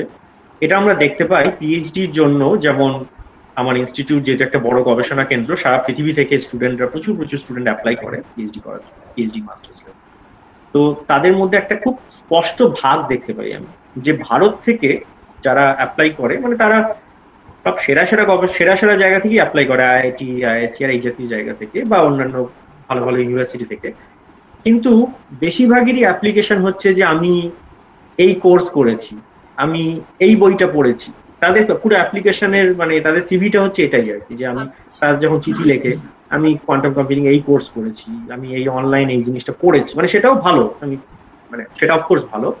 কিন্তু অন্যান্য অনেক জায়গা যেখানে খুব কম বয়স থেকে হাতে কলমে শিক্ষা আরম্ভ করে তাদের চিঠি তারা যখন আমাদেরকে অ্যাপ্লাই করে বা তাদের সিভি সেখানে একটা ইম্পর্টেন্ট জিনিস হচ্ছে আমি হাতে কলমে করেছি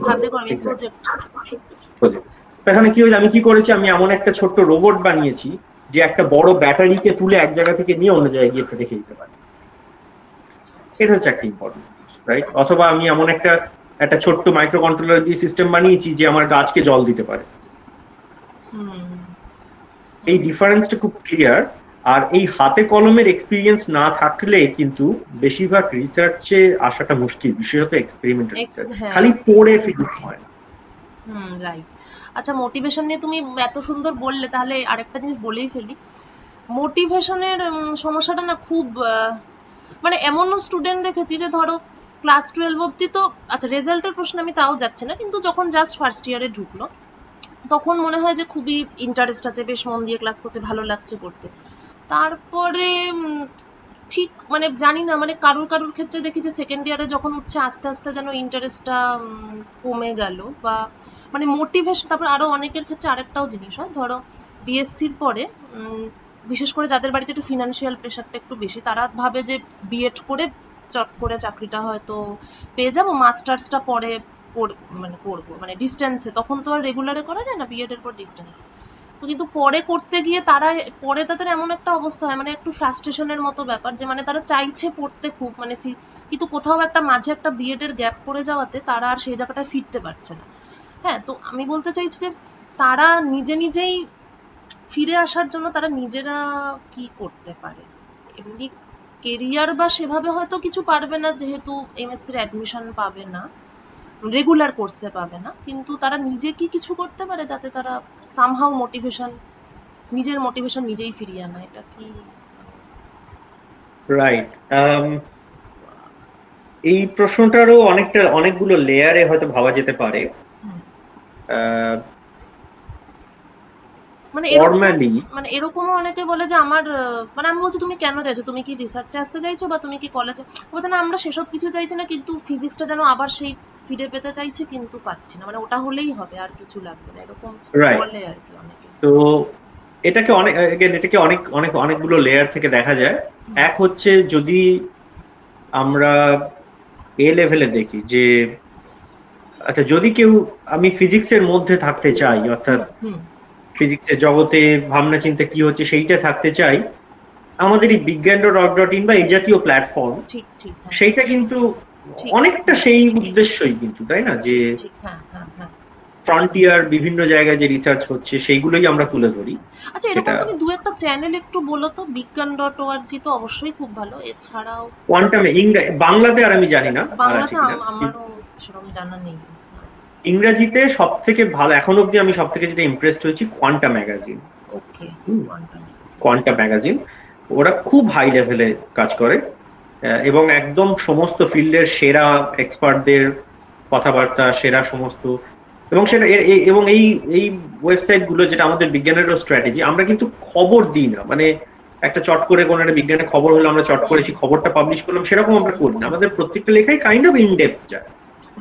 যাতে জিনিসটা বোঝা কোয়ান্টা ম্যাগাজিনও তাই। মানে ওরা নিউজ ওরা ঠিক নিউজ আর্টিকেল নয় ওরা হচ্ছে ওই ধরনের ম্যাগাজিন যেখানে সহজ করে খুব ডিপে যাওয়া যায়। এটা হচ্ছে একটা লেভেলে আচ্ছা। আরেকটা লেভেল সেটা সেটা আমি জানি না আমাদের দেশে ইনফ্রাস্ট্রাকচারটা আছে কি না কিন্তু হওয়া উচিত এবং পাশ্চাত্যের কিছু কিছু জায়গায় বিশেষত ইউনাইটেড স্টেটসে এই ধরনের একটা প্রোগ্রাম রয়েছে। একে বলা হয় সিটিজেন সায়েন্টিস্ট প্রোগ্রাম আমারই এক কোলাবোরেটর ওয়াশিংটনে জর্জ টাউন ইউনিভার্সিটির খুব নাম করা একজন থিওরিটিক্যাল ফিজিসিস্ট জিম ফ্রিরিক্স তো তার সাথে মানে আমার কোলাবোরেটর তার সাথে কথা প্রসঙ্গে জানতে জানতে পারলাম যেটা।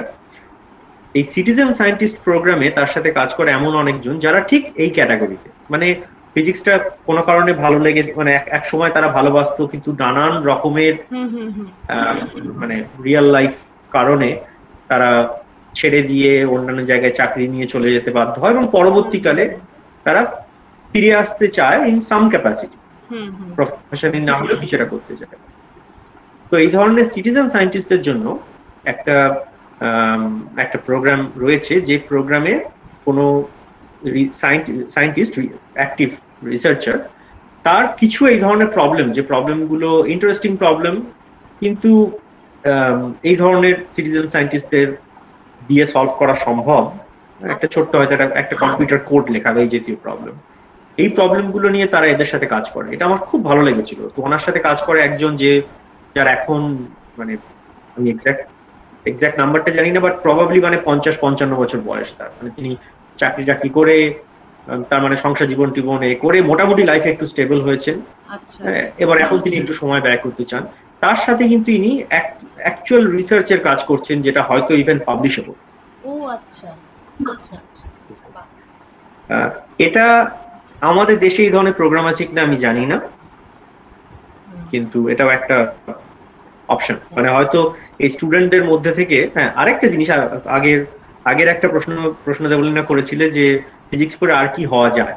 আরেকটা জিনিস যেটা হওয়া উচিত যেটাও আমাদের দেশে অতটা হয় না এখন সেটা হচ্ছে যে গভর্নমেন্ট পলিসিতে যাওয়া যায়। যে আমাদের মানে পাশ্চাত্যে যেটা হয় যে পিএইচডি করার পর একটা বড় অংশ তারা কিন্তু অ্যাডমিনিস্ট্রেটিভ রোলে যায়। মানে অ্যাডমিনিস্ট্রেটিভ বলতে আমি মানে আমাদের দেশের আইএএস ইকুইভ্যালেন্ট শুধু তাই বলছি না নানান ধরনের অ্যাডমিনিস্ট্রেটিভ যার সাথে গভর্নমেন্টের কোনো কানেকশন আছে মানে পলিসি লেভেল ডিসিশন নিতে পারে। হ্যাঁ তো এইটা এটা বলার উদ্দেশ্য হচ্ছে যে আমাদের এখনকার শ্রোতাদের মধ্যে থেকে পরবর্তীকালে কেউ যদি গভর্নমেন্ট বা পলিসি সেই জায়গাতে যায় তারা যেন এই এই যে বিষয়গুলো যেগুলো আমি তুলে ধরার চেষ্টা করছি এগুলো হয়তো মাথায় রাখতে পারো যে এই ধরনের প্রোগ্রাম সিটিজেন সায়েন্টিস্ট প্রোগ্রাম বা সায়েন্স জার্নালিজম প্রোগ্রাম এগুলো পলিসি লেভেলেই আমাদের ওখানে অতটা হয় না। তো সেইগুলোকে আনা যায় পরবর্তীকালে। আচ্ছা কিন্তু মানে তার মানে বেসিক্যালি তারা ইউপিএসসি বা এই ধরনের সিভিল মানে পলিসি মেকিং লেভেলে গেলে তারা সেগুলো মাথায় রাখতে পারে সেটাই। হ্যাঁ। আচ্ছা। আচ্ছা আরেকটা জিনিস রাজিবুল দা ইউটিউবে তো অজস্র চ্যানেল আছে যেখান থেকে কিন্তু আমি মানে স্টুডেন্টরা তো নিজেদের মতন ফলো করে সেটা খুবই ভালো কিন্তু আমি বেশ কিছু চ্যানেল কিন্তু মানে বা বেশ কিছু ভিডিও দেখেছি সেগুলো কিন্তু ফ্যাকচুয়ালি কারেক্ট নয় এরকম কিছু আমি দেখেছি। তো কিছু স্পেসিফিক চ্যানেল তুমি যদি বলো যেটা ওরা একটু রিগোরাসলি ফলো করবে। কারণ ওরা নিজেদের মতো করছে তো এবার সেক্ষেত্রে কি হয়? লার্নিং প্রসেসের মধ্যে যদি একটু অন্যরকম দেখে নেয় তাহলে তো ব্যাপারটা। এটা তো এখনকার এখনকার কালের একটা বড় অসুবিধা যে চ্যালেঞ্জ একটা। আমাদের টেকনোলজি এমন ভাবে আমাদের হাতে চলে এসেছে হাতের মুঠোয় চলে এসেছে। টেকনোলজি তো একটা মাধ্যম এই ধরনের ইউটিউব বলো কি হোয়াটসঅ্যাপ ফেসবুক এগুলো তো একটা মাধ্যম। সেই মাধ্যমকে কীভাবে ব্যবহার করব? মানে যে কোনো সেটা একটা সমস্যা। ঠিক হোয়াটসঅ্যাপের ফেক নিউজ ফেসবুকের ফেক পোস্ট সেরকম ইউটিউবের ফেক ভিডিও রাইট তো কিছু চ্যানেল যেমন এটা আমাকে একটু ডিটেলে দেখতে হবে। তবে কয়েকটা যেটা এই মুহূর্তে মাথায় আসছে সেটা হচ্ছে এইটা লক্ষ্য রাখার কিছু ইনস্টিটিউট মানে যেগুলো খুব প্রতিষ্ঠিত ইনস্টিটিউট যেমন নাসা একটা উদাহরণ বা jet propulsion lab Jefferson lab এগুলো হচ্ছে উদাহরণ যেগুলো খুব প্রতিষ্ঠিত ইনস্টিটিউট যারা একটা বড় লেভেলের ফান্ডিং পায় সায়েন্স আউটরিচের জন্য। আচ্ছা। তারা প্রফেশনালি প্রচুর ভিডিও তৈরি করে। যে ভিডিওগুলো একদম স্কুল লেভেল বা কলেজ লেভেলের স্টুডেন্টদের জন্য তারা প্রফেশনাল আমার institute institute for quantum computing আমাদের একটা ইউটিউব চ্যানেল রয়েছে। যে চ্যানেলে আমাদের ইনস্টিটিউটে বেসিক্যালি একটা পুরো টিম রয়েছে। মানে সেটা বেশ বড় টিম চার চার পাঁচ জনের প্রফেশনাল টিম রয়েছে। যারা এই ধরনের ভিডিওগুলো তৈরি করে তারা ইনস্টিটিউটের বিভিন্ন রিসার্চারের সাথে কাজ করে কথা বলে ভিডিও শুট ইত্যাদি ইত্যাদি করে এগুলো তৈরি করে। তো ইনস্টিটিউট ফর কোয়ান্টাম কম্পিউটিং এরা কোয়ান্টাম রিলেটেড কাজ করে। এগুলো অনেক বেশি অথেন্টিক যেমন নাসার ওয়েবসাইটটাও যতটা সুন্দর তাদের হ্যাঁ না ভিডিওগুলো খুব সুন্দর। আমিও দেখেছি হ্যাঁ। খুবই ইনফরমেটিভ আর রাইট। আরেকটা যেমন আমার খুব ভালো লাগে একটা সিরিজ এককালে দেখতাম সেটা হচ্ছে লিকুইড নাইট্রোজেন ইত্যাদি নিয়ে প্রচুর হাতে কলমে পরীক্ষার একটা ইউটিউবে চ্যানেল রয়েছে। এটা সম্ভবত জেফারসন ল্যাবের ইউটিউবে আচ্ছা। জেফারসন ল্যাব আচ্ছা। সেখানে খুব সুন্দর একটা চ্যানেল রয়েছে। তারপর আরও যেটা সুন্দর চ্যানেল রয়েছে ধরা যাক কোয়ান্টা ম্যাগাজিনের ইউটিউব চ্যানেল আছে কিনা আমি বলতে পারব না। তবে কোয়ান্টা ম্যাগাজিনটা তো একটা খুব বড় রিসোর্স যেমন বললাম। তার মানে কোনো ইনস্টিটিউটের ইউটিউব চ্যানেল এগুলো ফলো করাটা বেটার রাইট রাইট রাইট এটার এটা কারণটা হচ্ছে যে আমাদের আম, এই এই অ্যাটলিস্ট ওয়েস্টার্ন কান্ট্রিগুলোতে যেটা হয় যে রিসার্চ ইনস্টিটিউটগুলোর একটা আমি বলব ম্যান্ডেট থাকে তার একটা রিকোয়ারমেন্ট থাকে তাদের আউটরিচ এটা কিন্তু রিকোয়ারমেন্টের মধ্যে রাইট মানে যেমন আম, যেমন আমার রিসার্চে ধরো আমি যে রিসার্চ গ্র্যান্ট পাই এটা আমার একটা রিকোয়ারমেন্ট সেই গ্র্যান্টের আমার কোনো গ্র্যান্টের হয়তো ওয়ান পার্সেন্ট মানি বা কোনো গ্র্যান্টের whatever some amount of actual টাকা আমাকে স্পেন্ড করতে হবে আউটরিচ ওকে আচ্ছা আচ্ছা আচ্ছা আচ্ছা। এর এটা চাই. অ্যান্ড হোয়াই বলে ওরা একটা রেগুলার প্রোগ্রাম করে। এক্স্যাক্টলি পার্থক্যটা এখানে যে চায়ান হোয়াই চায়ান প্রোগ্রামটা অসাধারণ সেটাও আরেকটা রিসোর্স হ্যাঁ হ্যাঁ। তো চায়ান হোয়াই প্রোগ্রাম এইগুলো হচ্ছে অনেকটা ইনস্টিটিউট ইনিশিয়েটিভ হ্যাঁ। কিন্তু এর থেকেও অনেক বড় লেভেলে এগুলো হচ্ছে মানে ইনস্টিটিউট গভর্নমেন্ট লেভেলে ইনিশিয়েটিভ হচ্ছে যেটা এখন আমাদের আমাদের ইন্ডিয়া গভর্নমেন্ট কিন্তু অ্যাকচুয়ালি এই ধরনের ইনিশিয়েটিভ নিচ্ছে। হ্যাঁ। যেমন হায়দ্রাবাদে যে সিসিএমবি রয়েছে। Centre for molecular biology CSIR এর তাদের এই ধরনের একটা ইনিশিয়েটিভ শুরু হয়েছে। ও আচ্ছা আচ্ছা আচ্ছা। তাদের আরেকটা বড় ইনিশিয়েটিভ হচ্ছে ইন্ডিয়া বায়োসায়েন্স যেটা এনসিবিএস থেকে শুরু করে। India bioscience India bioscience org সেইখানে সেখানে কিছু অত্যন্ত ভালো ভালো, আমি আমি লিঙ্কটা পরে দিয়ে দিতে পারি। সেখানে অত্যন্ত ভালো ভালো কিছু এ তৈরি করে ওরা।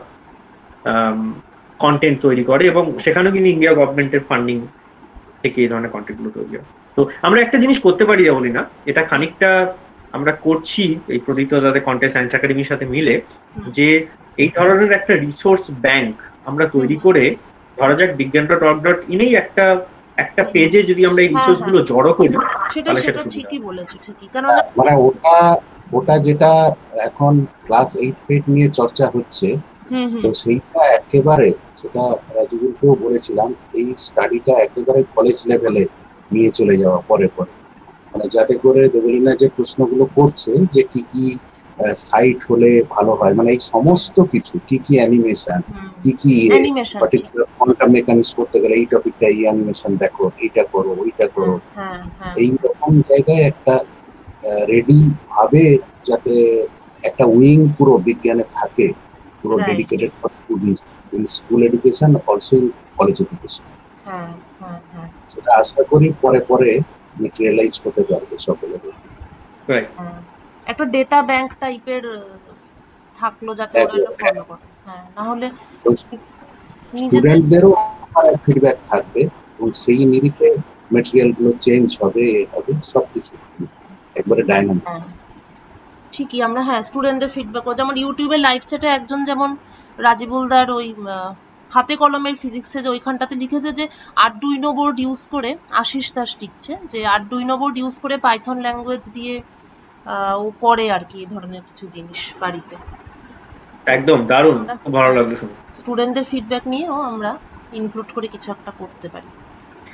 এই পাইথন ল্যাঙ্গুয়েজ বললে বলে আরেকটা জিনিস মাথায় এলো হ্যাঁ। যে আন্ডার গ্রাজুয়েট পুরো পড়ার সময় তোমার একটা জিনিস লক্ষ্য, কয়েকটা লক্ষ্য থাকা উচিত। এক তো যে আমি ফিজিক্সটা শিখছি অফকোর্স সেটা ফিজিক্স প্রোগ্রামের একটা প্রধান লক্ষ্য। আর একটা ইম্পর্টেন্ট লক্ষ্য হওয়া উচিত যে আমি যেন শেখার বিভিন্ন যে টুলস যেমন কোডিং একটা টুল হ্যাঁ হাতে কলমে এই ধরনের এক্সপেরিমেন্টাল আর্ডুইনো ইত্যাদি ইত্যাদি কীভাবে হ্যান্ডেল করা যায়। এইগুলো সম্বন্ধে যেন একটা মানে কমফর্ট লেভেল তৈরি হয়। যেমন এই পাইথন ল্যাঙ্গুয়েজ যখন এখন পাইথন প্রচুর জায়গায় ইউজ হয়। মানে আমাদের রিসার্চ ল্যাবে আমরা সবকিছু পাইথনে করি।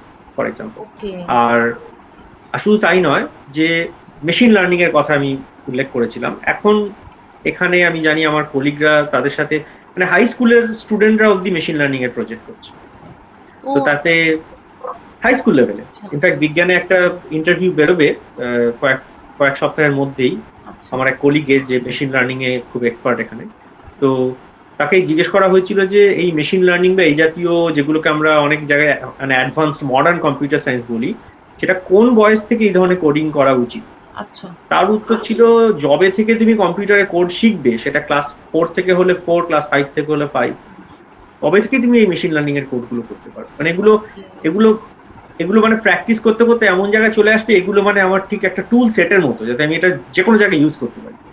হ্যাঁ ঠিক ঠিক। আজকাল তো সেই মানে ক্লাস সিক্স ক্লাস সেভেনে কোডিং এর কোর্স তো ফেসবুকে অ্যাডও দেয় দেখেছি মানে বিভিন্ন ইয়েতে।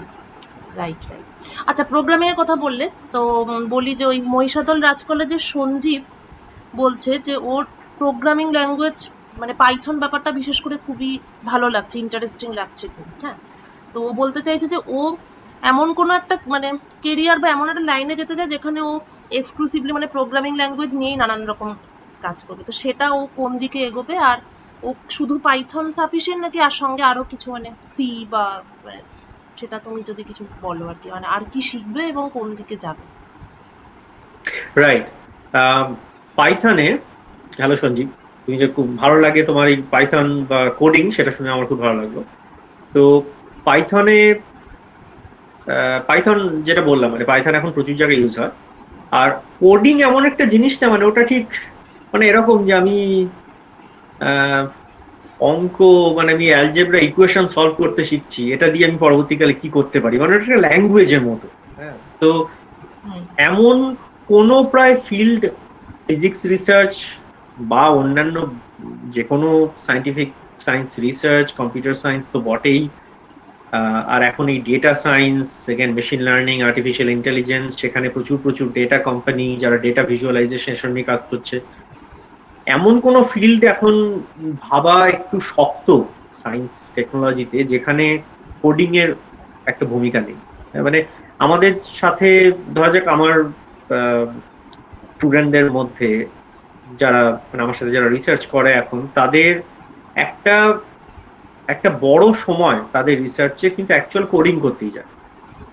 বিভিন্ন ধরনের প্রশ্ন। সেটা ফিজিক্সের ফিজিক্সের বিভিন্ন প্রবলেম সিমুলেশন করতে আরও করা থেকে শুরু করে আমি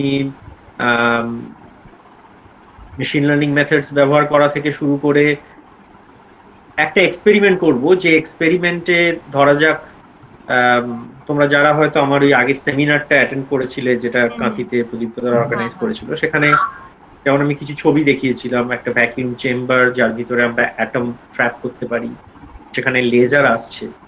এখানে ওই লেজারগুলোকে অন অফ সেইটা কিন্তু খুব তাড়াতাড়ি করতে হয়। মানে সেই, এটা একটু প্রিসাইজ সিকোয়েন্স মানে একটা এক্সপেরিমেন্ট মানে হচ্ছে আমার দুশো বার হয়তো একটা লেজার অন অফ হবে এবং সেই প্রত্যেকটা অন অফ হওয়ার টাইম হচ্ছে ধরা যাক কয়েক মাইক্রো সেকেন্ড কি কয়েক মিলি সেকেন্ড এবং সেটাকে প্রচণ্ড প্রিসাইজ হতে হবে। তো এই পুরো সিস্টেমটাকে অপারেট করা, সেটাও কিন্তু ওই কোডিং থেকেই। মানে সে পুরো সিস্টেমটা কম্পিউটার অপারেট এবং সেইটা অপারেট করার জন্য যে কোড বেস লাগে, সেটাও কিন্তু বেশ সাবস্ট্যান্সিয়াল কাজে আমাদের রিসার্চের একটা বড় অংশ হচ্ছে সেই কোডিং করা।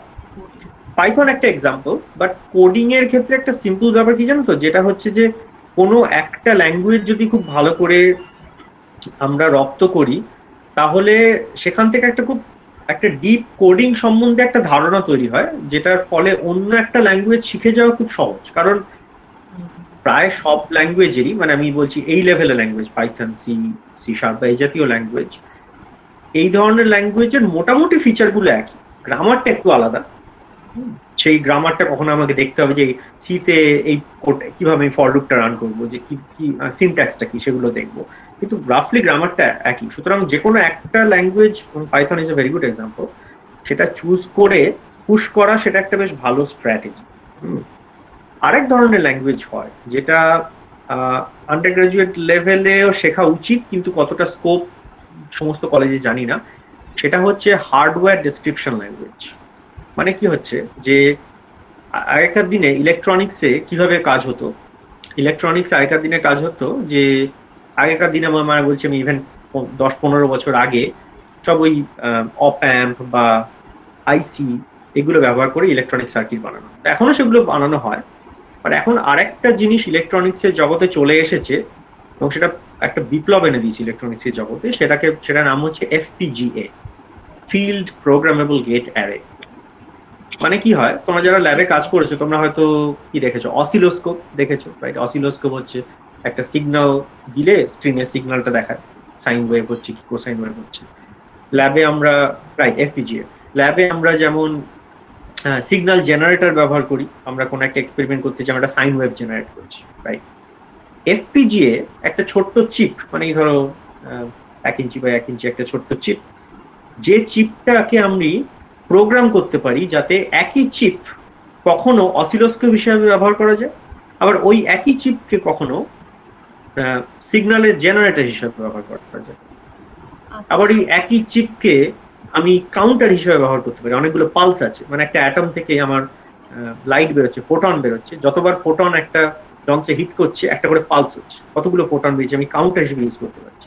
ওই এফপিজিএ তুমি যদি নেটে সার্চ করো বা অ্যামাজনে সার্চ করো বা যে কোনো ব্রাউজারে এখন ই কমার্স প্ল্যাটফর্মে ইলেকট্রনিক্স প্ল্যাটফর্মে এফপিজিএ খুব একটা বড় লেভেলে কিন্তু সায়েন্সে বিপ্লব এনে দিয়েছে। এখন নতুন জেনারেশন যে এক্সপেরিমেন্টাল ফিজিক্স হচ্ছে এফপিজিএ ছাড়া এখন সেই ধরনের এক্সপেরিমেন্টের কন্ট্রোল সিস্টেম বানানো খুব এবার এটা বলার উদ্দেশ্য এইটা যে এই ধরনের হার্ডওয়্যারকে প্রোগ্রাম করার জন্য যে ল্যাঙ্গুয়েজ লাগে সেটা কিন্তু এই পাইথন সি বা সি শার্প এই জাতীয় ল্যাঙ্গুয়েজ নয় এর থেকে অনেক লো লেভেল ল্যাঙ্গুয়েজ এগুলোকে বলা হয় বলা হয় hardware description language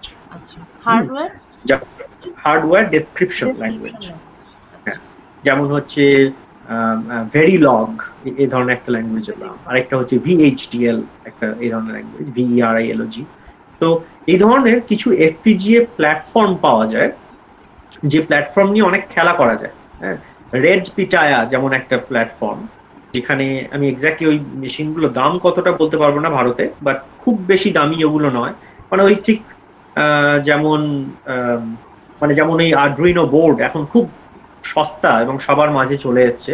এই এফপিজিএ প্ল্যাটফর্মটাও এখন খুব সহজে সবার মাঝে চলে এসছে, যাতে একটা প্ল্যাটফর্ম ইউজ করি, অনেক নানান ধরনের এক্সপেরিমেন্ট করে। ইউটিউবে প্রচুর ভিডিও পাবে।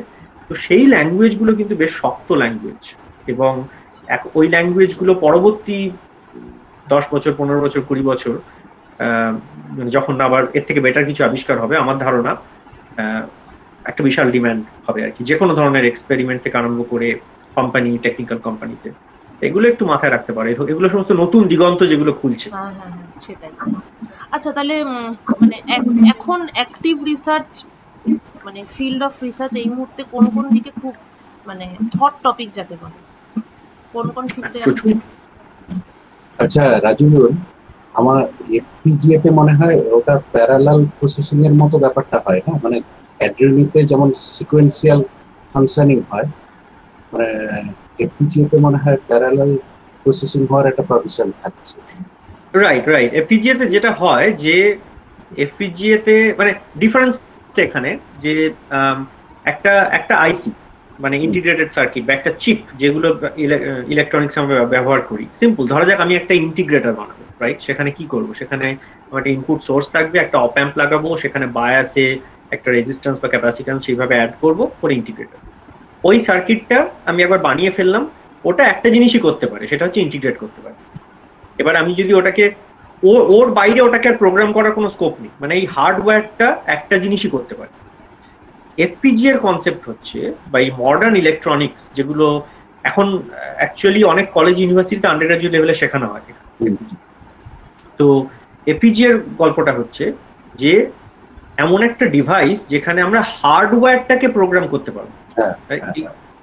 এইটা বোঝা খুব ইম্পর্টেন্ট মানে ওই একই চিপ সেটাকে আমি ইন্টিগ্রেটর হিসেবে ব্যবহার করতে পারব আবার একই চিপ সেটাকে আমি কাউন্টার হিসেবে ব্যবহার করতে পারব সেটাকে সোর্স হিসেবে ব্যবহার করতে পারব সেটাকে ক্লক হিসেবে ব্যবহার করতে পারব সেটাকে অসিলোস্কোপ হিসেবে ব্যবহার করতে পারব। একই চিপ জাস্ট প্রোগ্রাম করে. জাস্ট এগুলো আর তো সরি আমি প্রশ্নটা ভুলে গেলাম দেবলিনা, তুমি আর হট টপিক হ্যাঁ। হ্যাঁ। হ্যাঁ, প্রচুর প্রচুর প্রচুর প্রচুর ডিরেকশন রয়েছে। লেটস সি কয়েকটা র্যান্ডমলি যেগুলো মাথায় আসে। আমার নিজের টপিক দিয়ে শুরু করি। একটা সাংঘাতিক অ্যাক্টিভ টপিক হচ্ছে in general quantum information processing. সেখানে সেখানে গল্পটা হচ্ছে যে কোয়ান্টাম ফিজিক্স আন্ডার গ্রাজুয়েট লেভেলে তোমরা কোয়ান্টাম ফিজিক্স শিখছো। মোটামুটি টোয়েন্টিয়েথ সেঞ্চুরির একটা অন্যতম প্রধান আবিষ্কার বলা যেতে পারে কোয়ান্টাম ফিজিক্স এখন আমরা কোয়ান্টাম ফিজিক্সটাকে মানে সব যে বুঝি তা নয়, কিন্তু অ্যাটলিস্ট বোঝার জায়গাটা অনেকটা ম্যাচিওর হয়েছে, যাতে কোয়ান্টাম ফিজিক্সকে কাজে লাগিয়ে টেকনোলজি তৈরি করা যায় কিনা, সেই লেভেলে আমরা এখন চিন্তা ভাবনা করছি। আমরা মানে পুরো সাইন্টিফিক কমিউনিটি তো তার তার মানে সব থেকে যেটা লফটি গোল যেটাকে মানে হোলি গ্রেল বলে ইংরেজিতে সেটা হচ্ছে একটা কোয়ান্টাম কম্পিউটার বানানো। কোয়ান্টাম কম্পিউটার যেটা অনেক বেশি পাওয়ারফুল মানে quantum computer powerful supercomputer এটা একটা সম্পূর্ণ অন্য ধরনের কম্পিউটার যেটা অনেক ধরনের কমপ্লিকেটেড প্রবলেম সলভ করতে পারবে, যেটা এখন সম্ভবই নয় এখন সলভ করা। তো এটা এমন একটা প্রচণ্ড অ্যাক্টিভ ফিল্ড শুধু তাই নয় কোয়ান্টাম এফেক্টকে কাজে লাগিয়ে সেন্স করা মানে প্রশ্ন যদি, খুব সিম্পল প্রশ্ন। কত প্রিসাইজ ম্যাগনেটিক ফিল্ড আমরা মাপতে পারি? চৌম্বক ক্ষেত্র মাপতে পারি তাই। কত কত প্রিসাইজ মাপা যায় চৌম্বক ক্ষেত্রের একক কি? গাউস ধরা যাক বা টেসলা। এক gauss milli gauss micro gauss nano gauss কত দূর অব্দি যাওয়া যেতে পারে? দেখা যায় যে এখানে আবার কোয়ান্টাম ফিজিক্সকে ব্যবহার করে সব থেকে accurate sensor of magnetic field ব্যবহার করা যায় যেটা সম্ভবত ন্যানো গাউস অব্দি ন্যানো গাউস। ন্যানো গাউস মানে সে পাওয়া যায় না। এবার কেন কেন এত কম ম্যাগনেটিক ফিল্ড ব্যবহার ব্যবহার করাটা মানে কাজে লাগবে? সেখানেও অনেক অ্যাপ্লিকেশন খোঁজা হচ্ছে। যেমন বায়োফিজিক্স এর কথা আমরা আলোচনা করছিলাম। কোয়ান্টাম ফিজিক্সকে ব্যবহার করে এত সেন্সিটিভ সমস্ত সেন্সর বানানো যেতে পারে। তারপরে লোকে ভাবছে আচ্ছা আমি একটা সেল সেই সেলের মধ্যে মানে কোষ সেই সেলের মধ্যে ধরা যাক টেম্পারেচার সেটা অ্যাকিউরেটলি মাপতে পারি কিনা? বা একটা একটা ম্যাগনেটিক ফিল্ড অ্যাকিউরেটলি মাপতে পারি কিনা। সেই মেজারমেন্টগুলো থেকে কোন রকম ভাবে বায়োলজিক্যাল ইনফরমেশন পাওয়া যায় কিনা। ওই সেলটা সুস্থ না সেলটা অসুস্থ, সেটা মাপা যায় কিনা। এই ধরনের দিগন্ত, নতুন রিসার্চের দিগন্ত যেটা খুলে গেছে কারণ আমরা সিম্পলি অ্যাজ এক্সপেরিমেন্টাল ফিজিসিস্ট আমরা বিভিন্ন কোয়ান্টিটি যেমন ম্যাগনেটিক ফিল্ড যেমন টেম্পারেচার ইলেকট্রিক ফিল্ড মাস এগুলোকে আমরা খুব প্রিসাইজলি মাপতে পারি। তো সেটা হচ্ছে কোয়ান্টাম একটা ডিরেকশন আমার নিজের রিসার্চ হচ্ছে কোয়ান্টাম এই ধরনের কোয়ান্টাম কম্পিউটেশন কোয়ান্টাম সিমুলেটর যেখানে বেসিক্যালি আমরা এখন ল্যাবরেটরিতে মানে হাতে কলমে এক একটা সিঙ্গেল অ্যাটমকে ধরে রাখতে পারি যেটা আমি আগের আমার টকটা বলেছিলাম। একটা সিঙ্গেল অ্যাটম নিয়ে আমরা কাজ করতে পারি। এবং সেই সিঙ্গেল একটা সিঙ্গেল অ্যাটমকে শূন্যস্থানে ভাসিয়ে তাকে দিনের পর দিন ভাসিয়ে রাখা যায়। ওই একটাই অ্যাটম মানে তুমি চাইলে তার নামকরণ করতে পারো। সেই শূন্যস্থানে ভাসিয়ে রাখা যায় এবং সেই অ্যাটমকে দিয়ে এবার কোয়ান্টাম ফিজিক্সের আমরা যা কিছু বইতে পস্টুলেট হিসেবে শিখেছি সেগুলো অ্যাকচুয়ালি হাতে কলমে করা যায়। সেটা যেমন একটা ফিল্ড রিলেটেড ফিল্ড যেমন অপটিক্স অপটিক্সের রিসার্চ সাংঘাতিক তোমরা জানো আহ, দু বছর আগে আমার কলিগ ডনা স্ট্রিকল্যান্ড আমার ডিপার্টমেন্টে তিনি নোবেল পুরস্কার পান হ্যাঁ, টোয়েন্টি এইটিন হ্যাঁ ডনা। তো তার যে কাজ এবং সেই এই ফিল্ডটা হচ্ছে কি করে আরও বেশি ইন্টেন্স লেজার তৈরি করা যায়। রাইট লেজারের ইন্টেন্সিটি কি করে বাড়ানো যায়? এটা যেমন একটা একটা ফিল্ড এবং তার সাথে মানে এটা সবসময় দেখা যায় যে আমাদের বিজ্ঞান এবং প্রযুক্তির অগ্রগতিটা এমন ভাবে হয় যে সেখানে ফান্ডামেন্টাল ফিজিক্স এক্সপেরিমেন্টাল ফিজিক্স মানে একটু অ্যাপ্লাইড ফিজিক্স আর টেকনোলজি এরা না সব পা ফেলে ফেলে এগোয়। মানে একটা একটু এগিয়ে যায় অন্যদেরকে তখন একটু টেনে নেয়। অন্যটা একটু এগিয়ে যায় আবার টানতে থাকে এইভাবে. তো সব রিলেটেড মানে যেমন একটু আগে যেটা বলছিলাম যে আমরা কোনো একটা কোয়ান্টিটি যখন খুব সূক্ষ্মভাবে মাপতে পারব তখন ফান্ডামেন্টাল ফিজিক্সে আমরা এমন জিনিস ভাবতে আরম্ভ করব আচ্ছা এটা আমি এত সূক্ষ্মভাবে মাপতে পারছি তার মানে এর পরের ডিজিটটা কি হওয়া উচিত? সেটার কি থিওরি আছে? যেমন একটা খুব এখনকার কালে আরেকটা খুব হট টপিক অফ রিসার্চ সেটা হচ্ছে খুব ফান্ডামেন্টাল কিছু নেচারের প্রশ্ন। যেমন বলছি আমরা আমরা জানি সকলে যে খুব কিছু ফান্ডামেন্টাল কনস্ট্যান্ট রয়েছে আমাদের নেচারে রাইট স্পিড অফ লাইট একটা কনস্ট্যান্ট হুম। প্ল্যাঙ্কস কনস্ট্যান্ট একটা কনস্ট্যান্ট এই ধরনের অনেক ফান্ডামেন্টাল কনস্ট্যান্ট রয়েছে। তো এবার আমরা যদি প্রশ্ন করি যে এই ফান্ডামেন্টাল কনস্ট্যান্টের ধরা যায় একটা কম্বিনেশন যেমন ফাইন স্ট্রাকচার কনস্ট্যান্ট সেই ফাইন স্ট্রাকচার কনস্ট্যান্ট ঠিক করে, একটা অ্যাটমের মধ্যে তার যে এনার্জি লেভেল সেই এনার্জি লেভেল কতটা প্রিসাইজ বা তার এনার্জি লেভেলের ভ্যালু কত? ফাইন স্ট্রাকচার কনস্ট্যান্ট একটা ভ্যালু আছে one by one thirty seven যেটা একটা ভ্যালু আছে। তার প্রশ্ন হচ্ছে আচ্ছা এই ভ্যালুটা কি আজ থেকে দশ কোটি বছর আগে যা ছিল এখনও তাই? মানে এই ফান্ডামেন্টাল কনস্ট্যান্টগুলোর কম্বিনেশন বা এই যে ভ্যালু গুলো, সেগুলো কি পাল্টাচ্ছে না সেগুলো একই রয়েছে? এটা খুব ফান্ডামেন্টাল প্রশ্ন। এটা কি করে আমরা জানব? এটা জানার জন্য এটা একটা অ্যাক্টিভ ফিল্ড অফ রিসার্চ যে প্রচুর ল্যাবরেটরি সেখানে এই- এই ল্যাবরেটরি গুলোর নাম তুমি যদি গুগলে সার্চ করতে চাও এটা হচ্ছে প্রিসিশন মেজারমেন্ট এই এইটা নামে এই ধরনের ল্যাবরেটরি হয়। সেখানে তারা মাপতে থাকে বা ধরা যাক একটা ইলেকট্রন ইলেকট্রন একটা বেসিক্যালি পয়েন্ট পার্টিকেল কিন্তু পয়েন্ট মানে কি? পয়েন্ট তো একটা জিওমেট্রিক্যাল কনসেপ্ট হুম হুম। আমরা একটা জিনিস একটা মানে একটা ছোট্ট একটা মানে একটা একটা ঘরের উপরে দেওয়ালে একটা ডট রাখা আছে আঁকা আছে। আমি যদি সেটাকে এক কিলোমিটার দূর থেকে দেখি সেটা একটা পয়েন্ট লাগবে। আমি যদি খুব কাছ থেকে দেখি সেটা আদপেই আর পয়েন্ট নয়। তো প্রশ্ন হচ্ছে যে ইলেকট্রন সে কি আদপেই পয়েন্ট না সেটা তার একটা স্ট্রাকচার আছে? ইলেকট্রনের যদি একটা স্ট্রাকচার থাকে তার মানে তার একটা ইলেকট্রিক ডাইপোল মোমেন্ট থাকবে। এইগুলো প্রিসাইজলি মাপা যায় কিনা সেটা হচ্ছে আরেকটা field of research precision related আরেকটা প্রিসিশন মেজারমেন্ট এটা আবার এটার সাথে যেমন এগুলো যেমন খুব ফান্ডামেন্টাল প্রশ্ন হয়ে গেল কেউ প্রশ্ন করতে পারে এটার সাথে আমাদের মানে ডে টু ডে লাইফের কি সম্পর্ক? একটা সম্পর্ক বলছি। এখন তোমরা প্রায় প্রত্যেকেরই প্রত্যেকেই তোমরা মডার্ন টেকনোলজি ইউজ করছ কারণ সকলেই আমরা অনলাইনে কথা বলছি মানেই হচ্ছে সকলেই মডার্ন এইসব টেকনোলজি ইউজ করছি। ধরা যাক স্মার্টফোনে গুগল ম্যাপস রাইট সেই গুগল ম্যাপসে আমি ঠিকানা দিলেই বলে দিচ্ছে যে সামনের রাস্তা থেকে ডান দিকে বাঁকো, বাঁ দিকে বাঁকো। তো এটা তো ভাবা যেত না, আজ থেকে পনেরো কুড়ি বছর আগে। তো হঠাৎ কি হলো বিজ্ঞানের জগতে যে এত প্রিসাইজলি স্যাটেলাইট আমাদের পজিশন মাপতে পারছে? কি করে হচ্ছে? এটার একটা একটা কারণ, অনেকগুলো কারণ আছে বাট একটা কারণ হচ্ছে যে আমরা অনেক সূক্ষ্ম ঘড়ি আবিষ্কার করতে পেরেছি।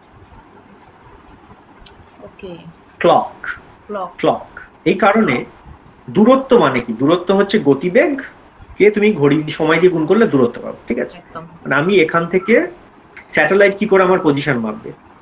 মানে জিপিএস আমার ফোনের পজিশন মাপবে। কতগুলো স্যাটেলাইট আছে তারা প্রত্যেকে দেখছে তাদের থেকে এই ফোনটা কতটা দূরে আছে। স্যাটেলাইট রয়েছে পৃথিবী থেকে এত কিলোমিটার উপরে। কিন্তু তারা আমার পজিশনটাকে মাপছে কয়েক মিটারের মধ্যে যাতে আমাকে বলতে পারছে হ্যাঁ তোমার রাস্তাটা এইবারে তোমার ডান দিকে বাঁকতে হবে। সেই পজিশন মাপার অ্যাকিউরেসি যদি এক কিলোমিটার হতো। তাহলে বলতে হচ্ছে আচ্ছা, এইবারে তুমি চৈতন্যপুরের মোড় থেকে ডান দিকে বাঁকো আমি ততক্ষণে মহিষাদল পৌঁছে হ্যাঁ, গেছি তাই না? সেটা তো। সেটার কারণ হচ্ছে যে আমরা এখন সময় খুব সূক্ষ্মভাবে মাপতে পারি। ঠিক আছে? ক্লক অ্যাটমিক ক্লকের রিসার্চ আমরা এখন এমন ঘড়ি তৈরি করতে পারি ল্যাবরেটরিতে যে ঘড়ি আহ, এতটাই অ্যাকিউরেট যে কয়েক বিলিয়ন ইয়ার্স মানে কয়েকশো কোটি বছরে এক সেকেন্ডও স্লো হয় না। এতটা অ্যাকিউরেট ঘড়ি এবার, আবার আমি আগের জায়গাতে ফিরে যাই। যখন আমরা কোনো কিছু জিনিস খুব অ্যাক্টিভলি মাপতে পারি, তখন সেখান থেকে অনেক ফান্ডামেন্টাল প্রশ্ন চলে আসে। এই ঘড়ি এতটাই অ্যাকিউরেট এবার একটা মজার জিনিস হচ্ছে ধরো যে টেবিলের উপরে এই ঘড়িটা রাখা আছে এই ঘড়িগুলো হচ্ছে অ্যাটমিক ফিজিক্স ইউজ করে অ্যাটমিক ক্লক বলা হয়। টেবিলের উপর ঘড়িটা রাখা আছে এই ঘড়ি টিক টিক টিক টিক করছে এক সেকেন্ড এবার এই পুরো ঘড়িটাকে যদি এক মিটার উপরে তুলি মানে পুরো টেবিলটাকে ধরা যাক আমি একটা ওই পেনের উপরে করে একটা এক মিটার উপরে তুললাম। দেখা যাচ্ছে ঘড়িটা স্লো হয়ে গেছে। ও। আচ্ছা। কেন হলো? তখন কারণ হচ্ছে যে টাইম এই টাইমের সাথে গ্র্যাভিটেশনের একটা যোগ রয়েছে যেটা হচ্ছে আইনস্টাইনের জেনারেল থিওরি অফ রিলেটিভিটি থেকে ও সেটা ডিটেক্টেবল মানে এটা ডিটেক্ট সেটা ডিটেক্টেবল অ্যাকচুয়ালি সেটা এখন ল্যাবে তৈরি করা যায়। এখন ঘড়ি সেই ঘড়ি টিক টিক টিক টিক আমরা মাপছি। সেই ঘড়ির টেবিলটাকে সব ওই ক্রেনে করে এক মিটার উপরে তুলে দিলে দেখা ঘড়ি স্লো হয়ে গেল সেটা অ্যাকচুয়ালি মাপা যায়। ওয়াও এবার আমরা পরবর্তীকালে ভাবতে পারি, এটা যদি এখন, এটা এখন খুব বড় টেকনোলজি খুব বড় টেবিল লাগবে। বাট এটা যদি ভবিষ্যতে আরও মিনিয়েচারাইজড হয়, হতে পারে যে পৃথিবীর মধ্যে কোন জায়গায় আমাদের এই পৃথিবীর তলায় যে প্লেটগুলো রয়েছে, সে এক জায়গা থেকে অন্য জায়গায় যাচ্ছে বা একটা ভূমিকম্প হওয়ার সম্ভাবনা আছে, তার মানে পৃথিবীর যে স্ট্রাকচার পাল্টাচ্ছে, তার মানে গ্র্যাভিটি পাল্টাচ্ছে, খুব সূক্ষ্ম লেভেলে হলে। তাহলে আমি কোনো ভবিষ্যতে ভাবতেই পারি, এক জায়গায় একটা ঘড়ি রেখে দিলাম। এবার সেই ঘড়ি টিক টিক টিক দেখে আমরা বলে দিতে পারব এই জায়গায় ভূমিকম্প হবে কালকে। একদমই তাই। ভূমিকম্পের পূর্বাভাস দিতে পারব এটা যেমন একটা দিক। এটা সুতরাং এগুলো এগুলো সমস্ত হচ্ছে precision measurement optics atomic physics quantum physics এই ধরনের রিসার্চ আরেক ধরনের রিসার্চ হচ্ছে যেমন ধরা যাক অ্যাস্ট্রোফিজিক্স। অ্যাস্ট্রোফিজিক্সে অসাধারণ কিছু রিসার্চ হচ্ছে। গত মানে নতুন দিগন্ত খুলে গেছে অ্যাস্ট্রোফিজিক্সে কারণ পৃথিবীর বিভিন্ন জায়গায় খুব অসাধারণ সমস্ত টেলিস্কোপ বসানো হয়েছে। সেগুলো শুধুমাত্র ভিজিবল আলোতে নয় রেডিও টেলিস্কোপ আমাদের দেশে যেমন পুনেতে জিএমআরটি তোমরা সার্চ করতে পারো giant metre wave radio telescope সেখানে যেমন যে এটা টিআইএফএরই একটা part national centre for radio physics giant metre wave radio telescope সেখানে একটা, পুনে একদম একটা ফাঁকা জায়গায় মানে তারাওয়ালা আকাশের নিচে, সেখানে তিরিশটা এই ধরনের বড় ডিশ অ্যান্টেনার মতো দেখতে। এক একটা হচ্ছে পঁয়তাল্লিশ মিটার, এক একটা অ্যান্টেনা তো সেই সেইগুলো সমস্ত আকাশের দিকে তাকিয়ে আছে। পালসার বা বিভিন্ন ধরনের সোর্স সেইগুলো ডিটেক্ট করার জন্য। সেখান থেকে পুরো ইউনিভার্সের স্ট্রাকচার আমরা খুঁজে পাচ্ছি। তো এই অ্যাস্ট্রোফিজিক্সের এখন একটা পুরো নতুন দিগন্ত খুলে গিয়েছে। প্রচুর সমস্ত মানে optical astrophysics X ray astrophysics gamma রেতে রেডিওতে সেটা একটা খুব হট টপিক অফ রিসার্চ আরেকটা হট টপিক অফ রিসার্চ হচ্ছে condense matter physics condense matter physics হচ্ছে যেখানে মানে আমাদের মেটেরিয়াল রাইট আমি যে এখন ফোন ব্যবহার করছি ফোনে কত সুন্দর সুন্দর ফোনের ডিসপ্লে সেই ডিসপ্লে প্রতি কয়েক বছর অন্তর অন্তর বেটার হচ্ছে। এগুলো কেন হচ্ছে? এগুলো হচ্ছে কারণ নতুন নতুন মেটেরিয়াল আবিষ্কার হচ্ছে নতুন নতুন অর্গানিক মেটেরিয়াল নতুন নতুন ক্রিস্টাল আবিষ্কার হচ্ছে। তো এই ধরনের মানে তো বলে শেষ করা যাবে না এত হ্যাঁ এত হ্যাঁ তাই। আচ্ছা এর মধ্যে দুটো পার্টিকুলার জায়গা নিয়ে দুজন স্টুডেন্ট কোশ্চেন করেছে। একজন হচ্ছে Shubhashis Mallick Haldia government college fifth সেমে এখন। শুভাশিস তুমি কি আছো? শুভাশিস? আচ্ছা ঠিক আছে আমি বলে দিচ্ছি কোশ্চেনটা শুভাশিসের কসমোলজি ব্ল্যাক হোল এই ব্যাপারগুলো নিয়ে আহ, তারপরে প্ল্যাঙ্কস প্ল্যাঙ্ক ইপক যেটা বা origin of big bang theory এই ব্যাপারগুলো নিয়ে খুব ইন্টারেস্ট তো ও জানতে চাচ্ছে যে এটা নিয়ে মানে ইন্ডিয়াতে কাজ করার স্কোপ কীরকম আর অল ওভার দ্য ওয়ার্ল্ড কীরকম স্কোপ আর ও এখন কীভাবে ওর এগোনো উচিত বা কোন দিকটাতে বেশি ফোকাস করা উচিত বিভিন্ন পেপারের মধ্যেও? সেইটাও। রাইট সো অ্যাস্ট্রোফিজিক্সে আমাদের দেশে কিন্তু প্রচুর ভালো গবেষণা হয়। তার মধ্যে যেমন খুব উল্লেখযোগ্য রিসার্চ ইনস্টিটিউট ইনস্টিটিউটের মধ্যে প্রথমেই যেটা মাথায় আসে IUCAA inter university centre for astronomy and astrophysics যেটা পুনেতে। আর তার সাথে আইআইএসিআর ফিজিক্সেরও খুব ক্লোজ কানেকশন সেটাও পুনেতে আইএসিআর পুনে পুনে যে ব্রাঞ্চ তো এছাড়াও ভারতে অন্যান্য খুব ভালো ভালো রিসার্চ ইনস্টিটিউটের মধ্যে যেমন রামন রিসার্চ ইনস্টিটিউট ব্যাঙ্গালোর সেখানে একটা বড় অ্যাস্ট্রোফিজিক্স ডিপার্টমেন্ট রয়েছে। আমি জানি কলকাতা আইএসআই স্ট্যাটিস্টিক্যাল ইনস্টিটিউট সেখানেও প্রচুর অ্যাস্ট্রোফিজিক্স রয়েছে হুম। আচ্ছা তো, ISI, আচ্ছা। হ্যাঁ প্রচুর অ্যাস্ট্রোফিজিস্ট রয়েছে। তো সেই ধরনের প্রচুর জায়গায় কাজ হয়। আইআইটি আইআইটি গান্ধীনগরে আমি জানি বেশ কিছু ভালো অ্যাস্ট্রোফিজিক্সের লোকজন রয়েছে। তো অ্যাস্ট্রোফিজিক্স এমন একটা আইআইএসসি তে রয়েছে অ্যাস্ট্রোফিজিক্স এমন একটা টপিক যেটায় প্রচুর কাজ হয় অনেকগুলো কারণে যে অ্যাস্ট্রোফিজিক্সে হাতে কলমে বড় ল্যাবরেটরি লাগে না ইমিডিয়েটলি প্রচুর থিওরিটিক্যাল কাজকর্ম করা যায় এবং এখন এখন যেটা হচ্ছে যে পৃথিবীর বিভিন্ন জায়গায় খুব বড় বড় অ্যাস্ট্রোফিজিক্যাল ফ্যাসিলিটি রয়েছে। যেমন জিএমআরটি একটা নাম বললাম রেডিও অ্যাস্ট্রোনমিতে ঠিক সেরকম মানে বিশাল বিশাল টেলিস্কোপ রয়েছে পৃথিবীর বিভিন্ন জায়গায়। এগুলো অনেক সময় এমন জায়গায় রয়েছে যেগুলোতে ইউজুয়ালি মানুষ থাকে না। লাদাখে একটা টেলিস্কোপ রয়েছে। হ্যাঁ, হ্যাঁ, হ্যাঁ, কিন্তু লাদাখের টেলিস্কোপটা লাদাখ থেকে বসে কন্ট্রোল করে না লোকে কন্ট্রোল করে ব্যাঙ্গালোরে বসে স্যাটেলাইট থেকে তো এই ধরনের বড় বড় টেলিস্কোপ বেসড প্রচুর ফেসিলিটি রয়েছে যেখানে যেগুলোর সাথে পৃথিবীর বহু দেশের বিজ্ঞানীরা সরাসরি কানেক্টেড আমাদের দেশের বিজ্ঞানীরাও কানেক্টেড সাহা ইনস্টিটিউটেও কিছু কাজকর্ম হয়। তো অ্যাস্ট্রোফিজিক্স অনেক অনেক কাজ হয়। অ্যাস্ট্রোফিজিক্সে কীভাবে পড়াশোনা করা উচিত?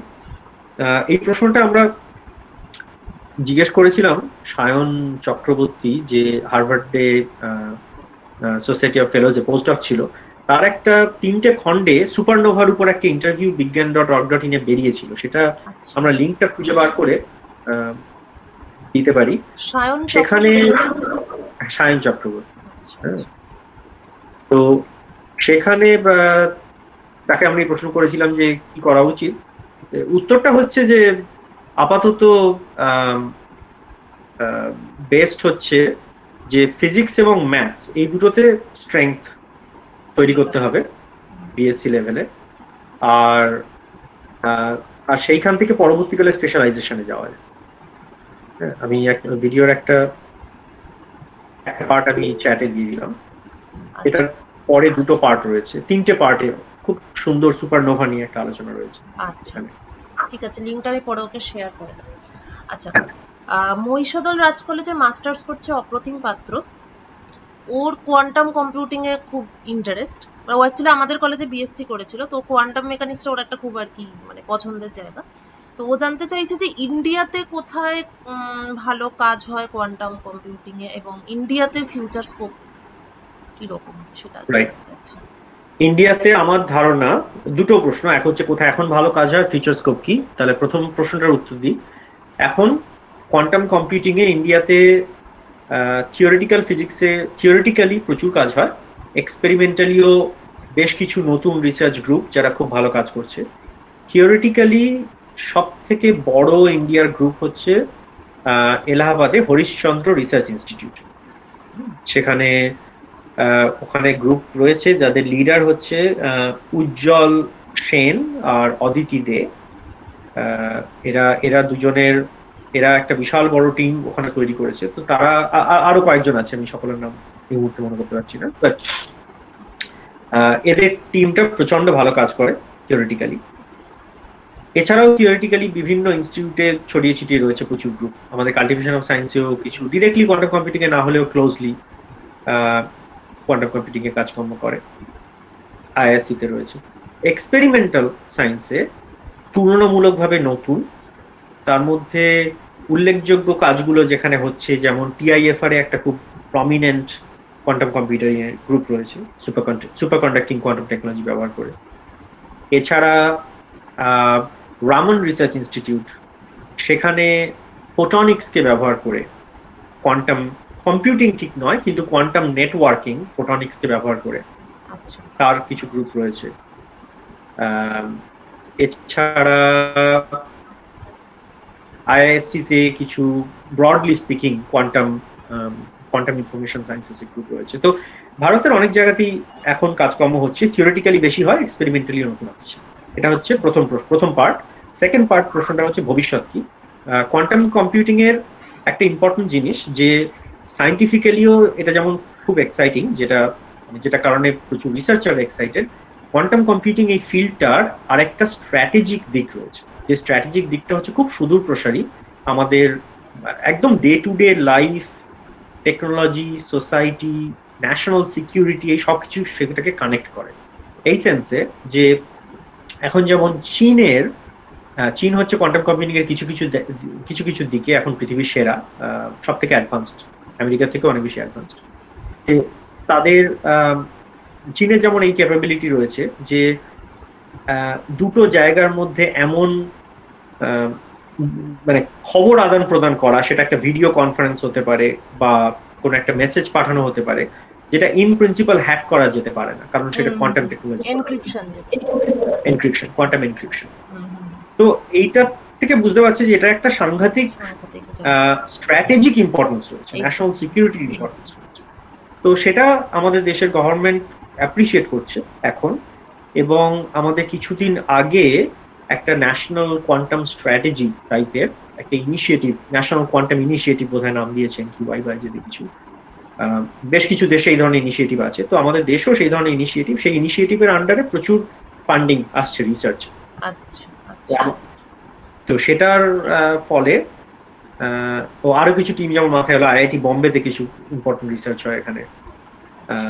তো এই ন্যাশনাল কোয়ান্টাম স্ট্র্যাটেজি বা ইনিশিয়েটিভ এইটার আন্ডারে আমার ধারণা সামনের পনেরো কুড়ি বছরে আমাদের দেশে এই ধরনের এই পার্টিকুলার ফিল্ডের বিভিন্ন কোয়ান্টাম ইনফরমেশন প্রসেসিং ফিল্ডে রিসার্চে পার্টিকুলারলি প্রচুর ফান্ডিং আসবে। আচ্ছা ওকে আচ্ছা এইবারে, ও আচ্ছা এখানে অপ্রতিম থ্যাংক ইউ স্যার জানিয়েছে। আচ্ছা হোসেনারা বেগম বলছে যে নিউক্লিয়ার অ্যান্ড পার্টিকেল ফিজিক্স খুব ভালো লাগে। এটা নিয়ে রিসার্চের স্কোপ ফিউচারে কিছু করার ইচ্ছে আছে। রাইট সো পার্টিকেল ফিজিক্সের গল্পটা হচ্ছে যে পার্টিকেল ফিজিক্সের ফ্রন্টিয়ার যেখানে নতুন পার্টিকেল বার করা তার প্রপার্টি জানা যেমন একটা হিগস প্রচুর মানে হিগসের খবর অনেকে জানে হিগস পার্টিকেলের কথা। তো এগুলোর জন্য এই এই পরীক্ষা নিরীক্ষাগুলো এখন প্রচণ্ড এক্সপেন্সিভ হয়ে গেছে। কারণ কি? যে এগুলোর জন্য, এগুলো তো কোলাইডার বেসড এক্সপেরিমেন্ট যেখানে তোমার খুব হাই এনার্জিতে পার্টিকেলকে অ্যাক্সিলারেট করিয়ে তাদের তাদের কি মানে ধাক্কাধাক্কি করে সেখান থেকে কি পার্টিকেল তৈরি হয়, সেগুলো ডিটেক্ট করা। সেগুলো হচ্ছে এই এই এক্সপেরিমেন্টগুলোতে তো পার্টিকেল ফিজিক্সের এক্সপেরিমেন্টগুলোর ধরন এখন যেভাবে হচ্ছে, যে খুব বিশাল বিশাল কোলাবোরেশন যেমন সার্নে যেটা সুইজারল্যান্ডে আর ফ্রান্সে এই দুটো দেশ মিলে যে সার্ন রয়েছে, তাদের তিন হাজার জন না চার হাজার জন বিজ্ঞানী প্রতি বছর বছর বাড়ছে। কাজ করছে একসাথে একই এক্সপেরিমেন্টের উপর। সুতরাং আমাদের দেশের বেশ কিছু ইনস্টিটিউট তাদের সায়েন্স গ্রুপ রয়েছে। তাদের নিজস্ব ছোটখাটো ল্যাবরেটরি রয়েছে, যেখানে তারা বিভিন্ন জিনিস টেস্ট করছে হয়তো একটা ডিটেক্টর টেস্ট করছে বা একটা কম্পিউটার কোড জেনারেট করছে। কিন্তু এই সমস্ত কিছু আলটিমেটলি গিয়ে এই ধরনের বড় বড় ফ্যাসিলিটি সার্ন ফার্মি ল্যাব জাপানে কিছু ফ্যাসিলিটি রয়েছে। তো এই ধরনের ফ্যাসিলিটিতে গিয়ে আলটিমেটলি এই ধরনের কাজ হচ্ছে। থিওরিটিক্যাল ফিজিক্সে অবশ্য পার্টিকেল ফিজিক্সে আমাদের দেশে অনেক জায়গাতেই কাজকর্ম হয়। প্রায় সমস্ত স্ট্যান্ডার্ড রিসার্চ ইনস্টিটিউটেই থিওরিটিক্যাল ফিজিক্স যার মধ্যে নিউট্রিনো ফিজিক্স যার মধ্যে নতুন পার্টিকেল হিগস বোজন ইত্যাদি এগুলো নিয়ে প্রচুর কাজ আচ্ছা রাজিবুলদার কাছে মোটামুটি ভাবে এটা লাস্ট কোশ্চেন এবং খুব ইম্পর্টেন্ট হলো যে এই যে কম্পিটিটিভ এক্সামগুলো যেগুলো হয় ঠিক আছে নেট বা জেস্ট প্লাস হচ্ছে ইন্টারভিউ এইগুলোর অনেক কোচিং সেন্টার এখন আছে। কিন্তু সেটা কি খুব এসেনশিয়াল কেননা আমরা যখন স্টুডেন্ট লাইফে ছিলাম, তখন কিন্তু এগুলোর কোনো এক্সিস্টেন্স ছিল না। আর এখন স্টুডেন্টরা খুব কনফিউজ থাকে। এবং ইভেন অনেক স্টুডেন্ট দেখেছে, তারা বিএসসি সেকেন্ড ইয়ারে শুরুও হয়নি, কিন্তু কোচিং সেন্টারে ভর্তি হয়ে যায়। ফলে সেমিস্টারের পড়ার দিকে একটু ফোকাসটাও কমে যায়। তো আমি জাস্ট তোমাকে এটা আমারও প্রশ্ন অ্যাকচুয়ালি স্টুডেন্টদের তরফ থেকে যে কোচিং সেন্টার এসেনশিয়াল কিনা প্রথমত, আর সেটা ছাড়া যদি কেউ সেলফ প্রিপেয়ার করতে চায় তাহলে কিছু ভালো বই তুমি সাজেস্ট করো। আর ইন্টারভিউর জন্য অ্যাজ সাচ আলাদা কিছু প্রিপারেশন বা সেরকম কিছু নেসেসারি কিনা। কোচিংটা নতুন মানে আমরা যখন ছাত্র ছিলাম ছাত্রাবস্থায় তখন তো কোচিং আমরা দেখিনি এই ধরনের পরীক্ষাতে। যে সেখানে আমি খুব একটা কিছু ইম্পর্টেন্ট মতামত দিতে পারব না। আমি জানি না এই কোচিংগুলো কি করে। ইম্পর্টেন্ট জিনিস হচ্ছে এই কোচিংগুলো কারা করে সেটাও জানি না। আর কোচিং এটা সম্বন্ধে আমি খুব একটা বলতে পারব না কারণ কোচিং সম্বন্ধে কোনো আইডিয়া নেই। তবে এই যে টেস্টগুলো রিসার্চ ইনস্টিটিউট গুলোতে সেই টেস্টও হয়তো গত দশ পনেরো বছর অনেক পাল্টেছে। কিন্তু টপ রিসার্চ ইনস্টিটিউটগুলোতে আমার যেটা ধারণা এখনও অবধি ওদের বেসিক যে ফিলোসফি যেটা ওরা ফলো করার চেষ্টা করে সেটা হচ্ছে প্রথম একটা টেস্ট দেয় যে টেস্টটা হচ্ছে বেসিক্যালি এলিমিনেশন টেস্ট কারণ আমাদের দেশে এত এত স্টুডেন্ট এতজন অ্যাপ্লাই করছে সেখানকার মধ্যে থেকে ওরা প্রথম হয়তো এক হাজার জন বা কিছু জনকে বেছে প্রথম টেস্ট তারপরে ইন্টারভিউ ইন্টারভিউ এখনও হয়তো হয় আমি জানি না এখনকার ইনস্টিটিউটগুলোতে বাট প্রশ্নের মধ্যেই প্রবলি ইন্টারভিউ ছিল হ্যাঁ, সুতরাং ইন্টারভিউ হয়। ইন্টারভিউ হয় হয় পিএইচডি তে তো ডেফিনেটলি হয় আর এ তো জেস্টের Right. ইন্টারভিউতে যে জিনিসটা দেখার চেষ্টা করে আমার ধারণা কারণ সেটা কোয়াইট ইউনিভার্সাল আমরাও যখন স্টুডেন্টদেরকে ইন্টারভিউ করি, যারা আমাদের সাথে কাজ করার জন্য অ্যাপ্লাই করে ইনস্টিটিউটে আমরা যে জিনিসটা দেখার চেষ্টা করি সেটা হচ্ছে তার ফিজিক্স নিয়ে বা যে কোনো সাবজেক্ট নিয়ে ভাবনা চিন্তাতে কত- কতটা ম্যাচিওরিটি এসেছে। নট নেসেসারিলি সে কি জানে কি জানে না। কারণ জানা জিনিসটা অতটা ইম্পর্টেন্ট নয়। মানে আমি তো মানে বই রয়েছে রিসার্চে একটা জিনিস না জানলে কি আছে? লাইব্রেরিতে গিয়ে বা অনলাইনে বই থেকে পড়ে জেনে নেব। ইম্পর্টেন্ট জিনিস হচ্ছে তার একটা সাবজেক্ট সম্বন্ধে আন্ডারস্ট্যান্ডিং বা ম্যাচিওরিটি এসেছে। তো টিআইএফআর এ যেমন যা টিআইএফ এ যেহেতু আমি ছিলাম, নিজে ইন্টারভিউ প্রসেসের মধ্যে গিয়েছি যে ওরা যেটা দেখার চেষ্টা করত, সেটা হচ্ছে বা ইন্টারভিউ প্রসেসটা যেটা হয়, যে কোনো একটা বিষয় নিয়ে আলোচনা শুরু হলো। সেটা খুব সহজ, ধরা যাক নিউটনের সূত্র। মানে খুব সিম্পল একটা জিনিস বা থার্মোডাইনামিক্স এর কিছু একটা ফেজ ডায়াগ্রাম আছে পি পি রাইট বলে শুরু হচ্ছে খুব সিম্পল একটা জায়গা থেকে। এবার ইন্টারভিউতে ওরা যেটা করার চেষ্টা করে ওরা হচ্ছে বেসিক্যালি স্টুডেন্ট যে বিষয়টা নিয়ে আলোচনা শুরু করল তাকে খুঁচিয়ে খুঁচিয়ে কত দূর নিয়ে যাওয়া যায় কত দূর টানা যায় তাকে। ঠিক আছে? একটা ইন্টারভিউয়ের কথা মনে আছে যখন স্টুডেন্ট ছিলাম এই কেভিপিওয়াই বলে একটা ফেলোশিপ হয় সেটা হ্যাঁ তো সেই আমরা যখন কেভিপিআই দিই তো একদম প্রথম দিকে আমি প্রবাবলি থার্ড বা ফোর্থ ব্যাচ কেভিপিআই এর স্কলার ছিলাম। তো সেই ইন্টারভিউটা খুব প্রথম মানে আমার লাইফের ফিজিক্সের সিরিয়াস ইন্টারভিউ সেটা। ইন্টারভিউ প্যানেলে গিয়ে দেখলাম আটজন ইন্টারভিউ ইন্টারভিউয়ার বসে আছে আটজন কি নজন। তো সেটা দেখেই ঘাবড়ে গেলাম। তার আগে ইন্টারভিউ বলতে কলেজের ভাইভা যেখানে একজন বা দুজন আসতে বসে? তো আটজন বা নজন সেই ইন্টারভিউয়ে সব ডিটেল মনে নেই কিন্তু যেটা এখনও মনে আছে সেটা হচ্ছে সেখানে আহ, এই আলো ফোটন যার সম্বন্ধে একটু একটু জানতাম মানে হাই স্কুল কলেজ লেভেলে ফিজিক্স থেকে আরম্ভ করে ডপলার এফেক্ট এইগুলোকে ইনক্লুড করে ওই ইন্টারভিউর মধ্যেই ইন্টারভিউয়াররা আমাকে খুঁচিয়ে খুঁচিয়ে আমাকে দিয়ে লেজার কুলিং আবিষ্কার করিয়েছিল সে মানে ওরা আচ্ছা। খুঁচিয়ে খুঁচিয়ে আচ্ছা আচ্ছা তাহলে এইটা করলে কি হবে? আমি যদি এই ফ্রিকোয়েন্সিটাকে একটু কমিয়ে দিই পার্টিকেল যায় এবার এই জিনিসটা সম্বন্ধে আমার কোনো আইডিয়া ছিল না। কারণ আমি প্রতিদিন লেজার কুলিং জিনিসটা নামও শুনিনি, তখন অব্দি লেজার দিয়ে যে ঠান্ডা করা যায়, সেটাই সেটাই একটু অদ্ভুত ব্যাপার। তো পুরো মানে ব্যাপারটা হচ্ছে যে খুব বেসিক ফিজিক্স থেকে ওনারা এক একটা স্টেপ বাই স্টেপ প্রশ্ন করছে আচ্ছা ঠিক আছে, তুমি বললে যে অ্যাটম এইভাবে বিহেভ করে, এবার অ্যাটমের উপর আমি একটা লাইট ছেড়ে দিলাম ফ্রিকোয়েন্সি কমিয়ে দিলাম। কীভাবে করবে বল? এটা আননোন সিচুয়েশন সেই আননোন সিচুয়েশনে আমার যেটুকু জানা আছে সেটুকু দিয়ে আমি কিছুটা কষে বললাম আচ্ছা তাহলে এটা এই হওয়া উচিত। বলল আচ্ছা তাহলে অ্যাটমটা ঠান্ডা হয়ে যাবে? আমি ফাল ফাল করে থাকি দেখি হ্যাঁ হওয়া উচিত। কিন্তু এটা শুনতে অদ্ভুত লাগছে, আলো ফেললে ইউজুয়ালি গরম হয়, কিন্তু আমি যে ফিজিক্স করলাম, সে অনুযায়ী ঠান্ডা হওয়া উচিত। তখন ইন্টারভিউর সব হাসতে আরম্ভ করে বললেন, একদম ঠিক কথা, এটাকে বলা হয় লেজার তো মানে পয়েন্ট হচ্ছে যেটা কোনো একটা স্পেসিফিক আমি কোনো একটা জিনিস পড়েছি বা জেনেছি ঠিক সেই জিনিসটা আমার ধারণা ভালো ইন্টারভিউরা দেখেন না। তারা যেটা দেখার চেষ্টা করেন যে তুমি যেটুকু জানো সেটার মধ্যে কতটা কন্টিনিউটি ম্যাচিউরিটি রয়েছে যাতে তুমি একটা আননোন প্রবলেমকে তুমি ফেস করতে পারো। সেইটা সেটা হচ্ছে ইম্পর্টেন্ট আরেকটা ইম্পর্টেন্ট জিনিস হচ্ছে যে কোনো কখনো টিআইএফআর এ যেমন আমার ইন্টারভিউ হয়েছিল এবং টিআইএফআর আমি নিজে চান্স পেয়েছিলাম সুতরাং খুব একটা বাজে যাইনি ডেফিনেটলি ইন্টারভিউ টিআইএফআর ইন্টারভিউ এরকম হয়েছিল যে আমাকে ওরা কোনো একটা জিনিস নিয়ে প্রশ্ন করছিল এক্স্যাক্টলি কি ভুলে গেছি থার্মোডাইনামিক্সের যে জিনিসটা নিয়ে আমার কোনো কনফিডেন্স ছিল। আমি খুব স্ট্রেট ফরওয়ার্ড বলে দিয়েছিলাম আমি এই জিনিসটা ভালো বুঝি না। আচ্ছা। আমি উত্তরই দিইনি অ্যান্ড দ্যাটস ফাইন তখন ইন্টারভিউয়ারদের মধ্যে একজন একটু হয়তো বিরক্ত হয়েছিলেন বাট অন্যদের মধ্যে ঠিক আছে তুমি কোন জিনিসটা বোঝো তুমি বল। তখন বললাম ঠিক আছে আমি হারমোনিক অসিলেটর বুঝি। তারপরে ওরা তারপরে পনেরো কুড়ি মিনিট আধ ঘণ্টা ধরে হারমোনিক অসিলেটর নিয়ে ওই একই একই মেথড একের পর একটার পর একটা। ওরা যেটা দেখে যে কত দূর অব্দি তোমার বোঝার জায়গাটা গেছে এবং কোনখানে গিয়ে ব্রেকডাউনটা হচ্ছে। এইটা কাইন্ড অফ জেনারেল কোচিং ভিত্তিক পড়াশোনা এটা হয় কিনা আমি জানি না. বলি না।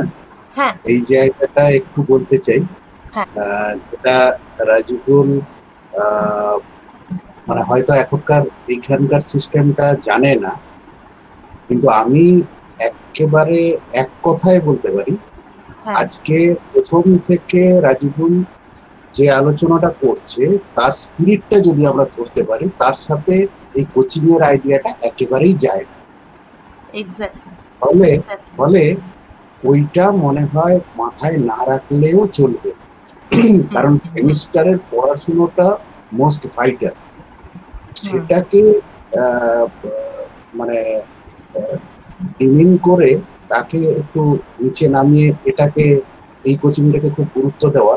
মানে ওটা কাইন্ড অফ নাম্বার পাওয়া। এইরকমই। প্র্যাকটিস না তাকে এনকারেজ করা। না প্রদীপ্ত তো কি বলতো?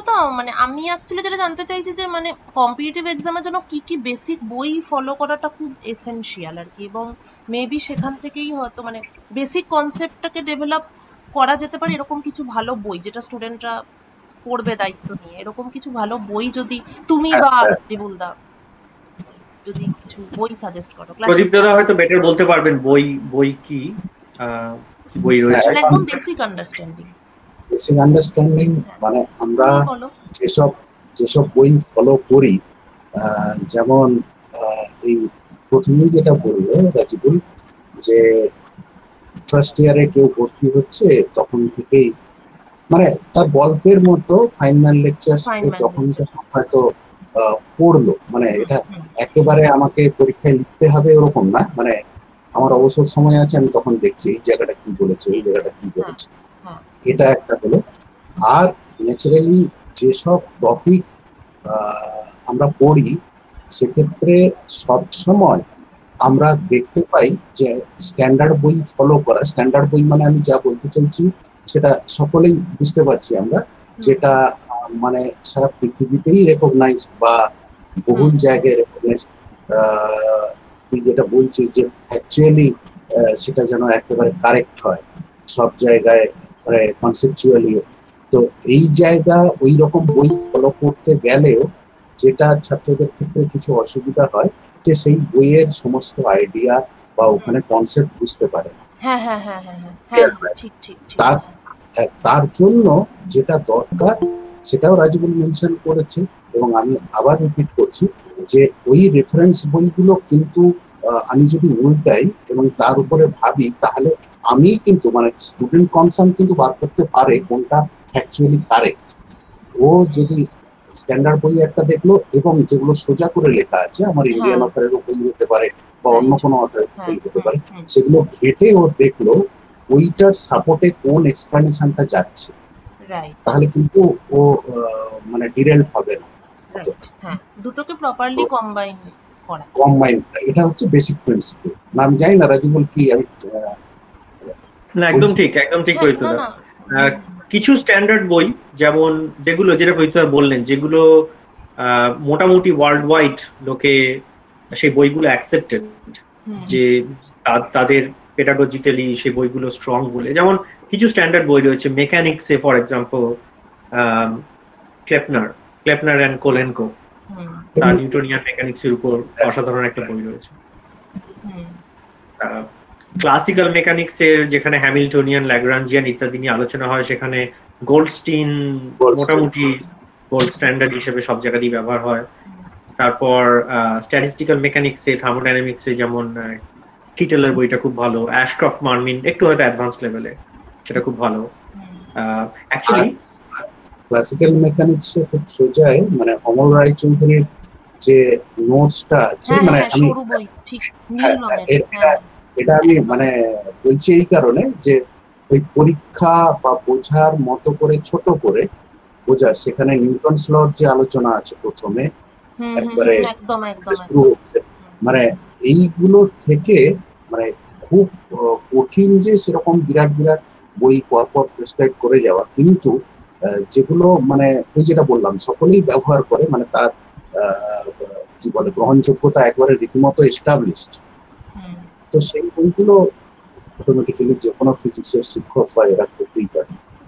স্ট্যাটিস্টিক্যাল মেকানিক্স আরেকটা বই পেয়েছিলাম সেটা আমাদের একজন আহ, কলকাতারই একজন লেখা অভিজিৎ লাহিড়ী অসাধারণ একটা বই। বিবেকানন্দ কলেজ বেশ ছোটি বই কিন্তু মানে বইটার সেটা এখনও বেরোয় এখনও আছে। একটা অসাধারণ বিবেকানন্দ কলেজের। তারপর আহ, আরেকটা যেটা হচ্ছে তো এই ধরনের প্রচুর স্ট্যান্ডার্ড ধরনের বই রয়েছে। আর কি কি রয়েছে? যেমন হ্যাঁ কোয়ান্টাম কোয়ান্টাম মেকানিক্স এর রাইট কোয়ান্টাম মেকানিক্স এর আসলে কীভাবে পড়ানো উচিত সেটা নিয়ে আবার অনেকগুলো দল রয়েছে অনেকগুলো গ্রুপ রয়েছে। আচ্ছা। আমি যে দলে বিলং করি এখনও অবধি। সরি প্রত্যেক কিছু বলছেন? হ্যাঁ না না না বলছি এটা এটাই সাজেস্ট করা খুব কঠিন। মানে ওই যে যে জায়গাটা বলছে হ্যাঁ, বলো বলো। তো কোয়ান্টামে আমি যেভাবে আমি বা আমার কলিগরা এখানে ইনস্টিটিউট ফর কোয়ান্টাম কম্পিউটিং আমরা যেভাবে পড়াই সেটা হচ্ছে স্পিন বেসড অ্যাপ্রোচ যেটার আহ, আমি যে বইটা ফলো করি সেটা হচ্ছে ডেভিড ম্যাকিনটায়ার এটা হচ্ছে McIntyre M C I N T Y R E তো এটা যেমন একটা অ্যাপ্রোচ আর ইলেকট্রো ডায়নামিক্সে ফাইনাল লেকচার্স এর সেকেন্ড ভলিউমটা একটা অসাধারণ কাজ। কিন্তু টেক্সট বই হিসাবে গ্রিফিথস গ্রিফিথ গ্রিফিথের অনার্সেও যে ইয়েটাও সেটাও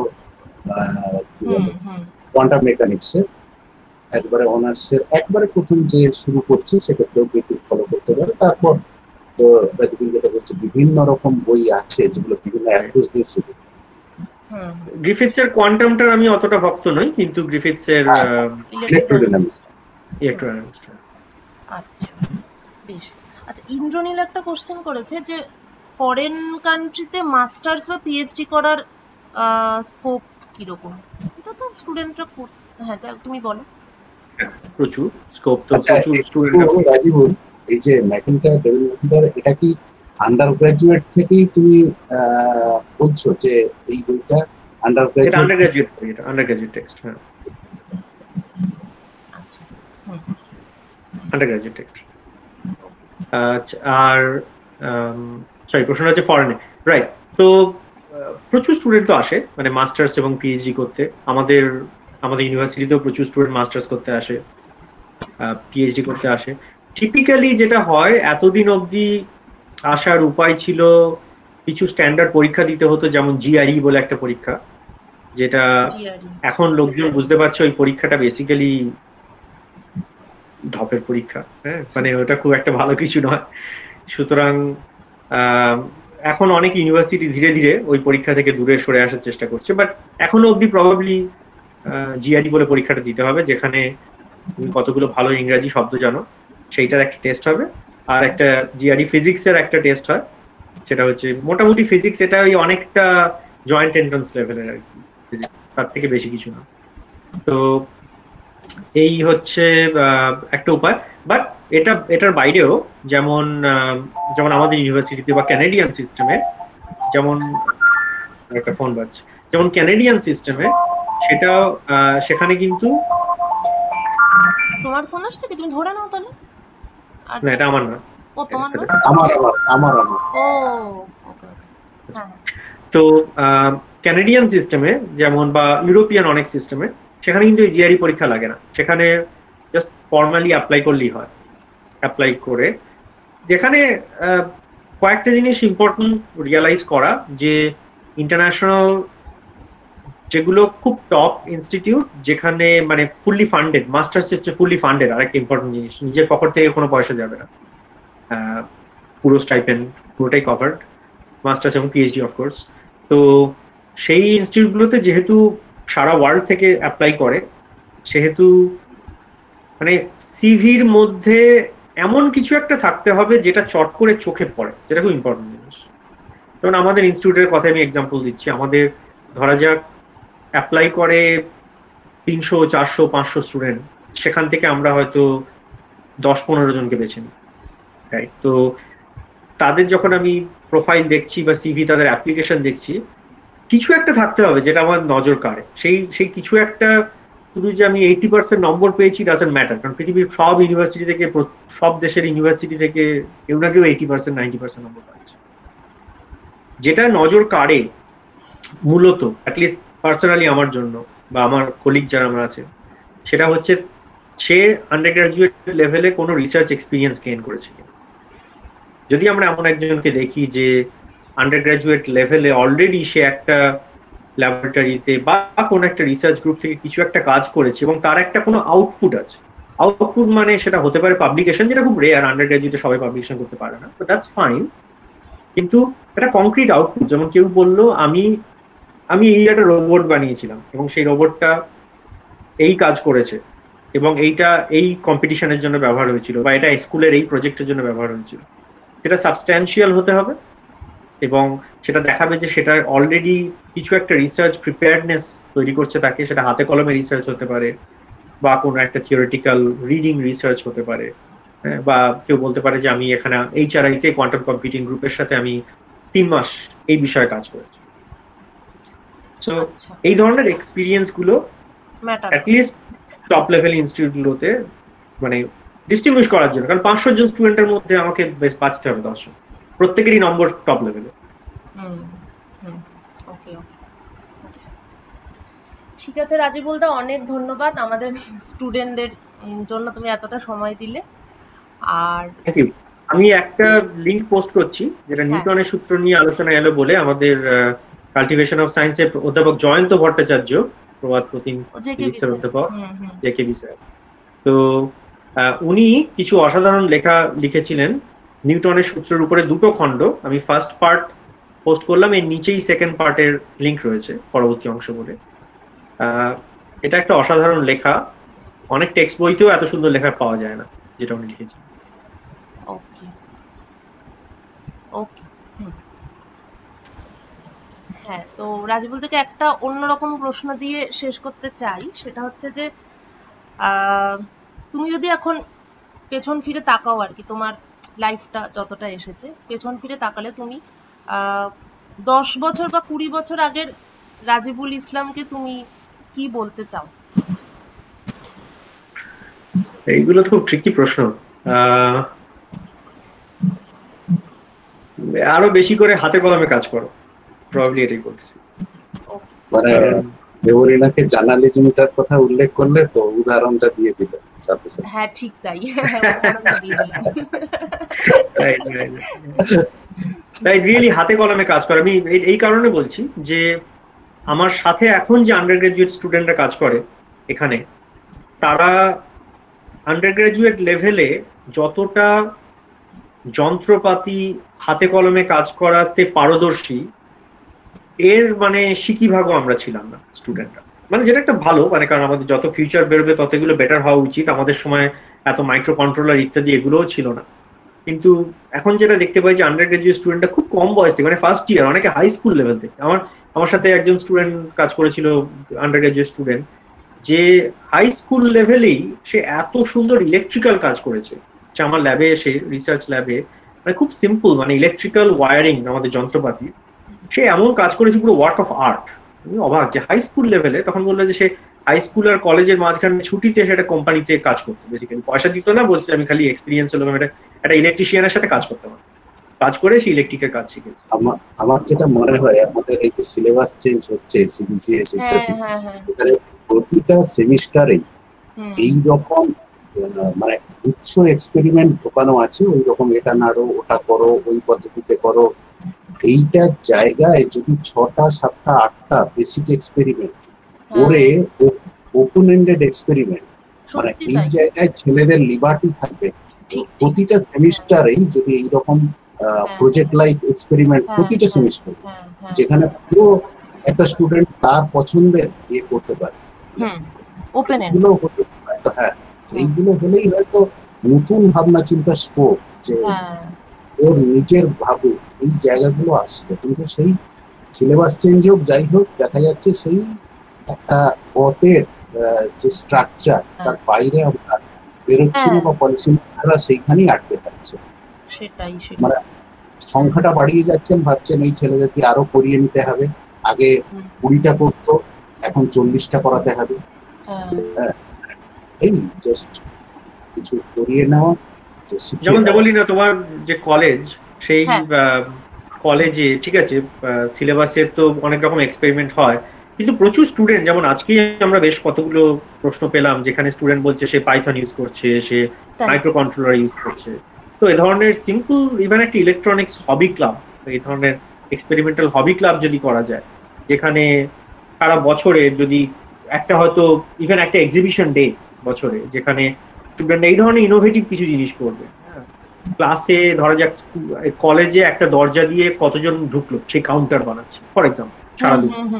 তারপর কলেজের সামনে রাস্তা দিয়ে গাড়ি যাচ্ছে সেই গাড়ি যাওয়ার ডিস্ট্রিবিউশন কি? হ্যাঁ? রাইট সিম্পল সিম্পল প্রশ্ন। এগুলো যদি হাতে কল এক্স্যাক্টলি সাইকেল আমি সাইকেলের সাথে এমন একটা কাউন্টার বানাতে পারি কি যেখানে সাইকেলের স্পিডোমিটার তৈরি হয়ে গেল। রাইট হুম এক্স্যাক্টলি আমি তাই শুনতে শুনতে মনে মনে ভাবছিলাম যে এগুলো কিছু কিছু রাইট আমি ইমপ্লিমেন্ট করব। আমি শুনে শুনেই ভাবছি। এবং সেইগুলো যদি যদি যদি করা যায় অনেক স্টুডেন্ট আছে এখানে যারা নিজেরা অনেক প্রজেক্ট করছে তোমাদের কাছে আরেকটা অনুরোধ হচ্ছে তোমরা এই ধরনের কিছু কিছু রাইট আপ আমাদের বিজ্ঞান ডট অফ ডট ইনকে পাঠাও। আমরা আরেকটা যেটা করতে পারি যে এই কালচারটা তৈরি করা যায় এগুলো শোকেস করা যদি কোনো ধরো স্টুডেন্ট মাইক্রো কন্ট্রোলার প্রজেক্ট করেছ বা কিছু। কেউ কিছু করল। ওদেরকে পাঠাও।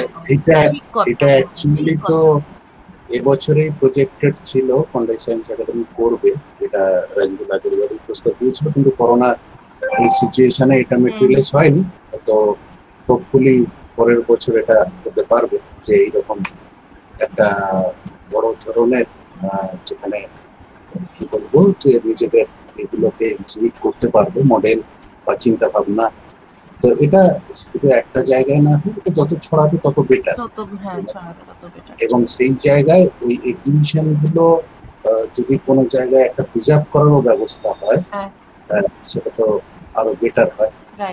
আর আর যেটা শেষ করার আগে দেবলীনা শেষ করবে হয়তো তার আগে একটু একটা কথা বলে নিতে চাই যে আহ, এই রকম ভাবে যে ড্রাইভটা দেবলীনা শুরু করেছে মানে একটা পার্টিকুলার আঙ্গিক দিয়ে এটা শুরু হয়েছে।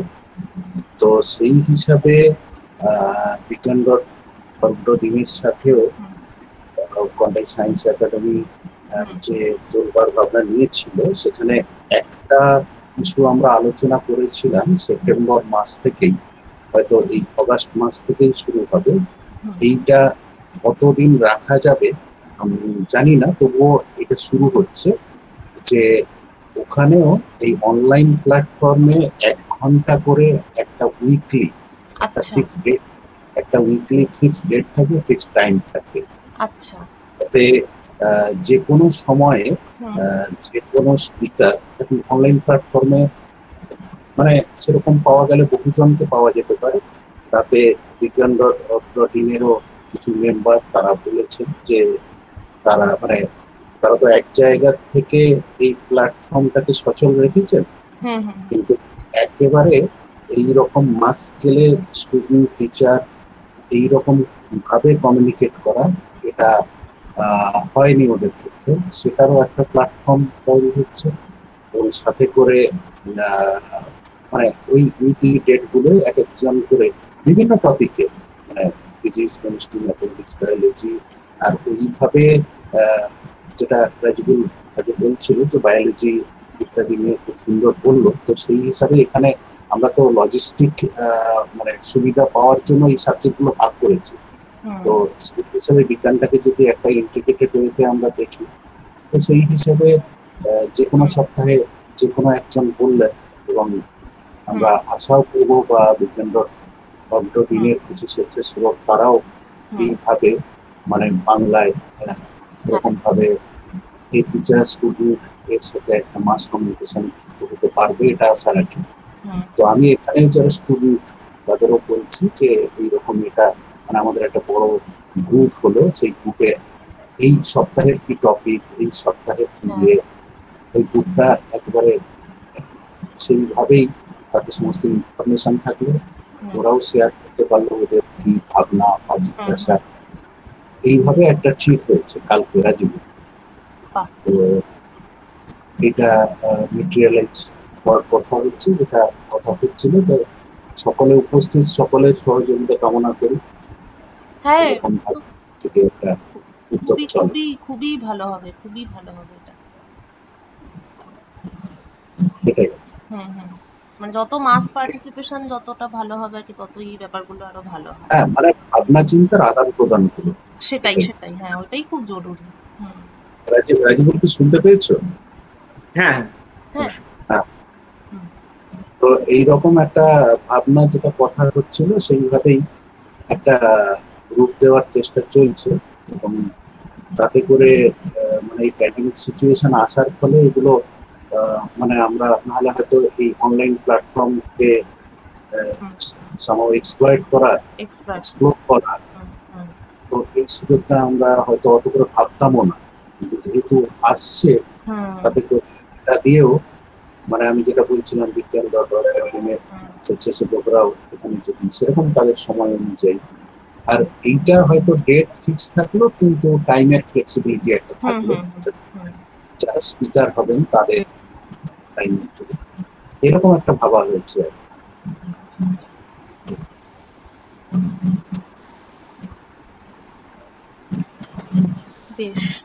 আহ, ঠিক আছে তাহলে রাজীবুল দাকে Okay, অনেক ধন্যবাদ।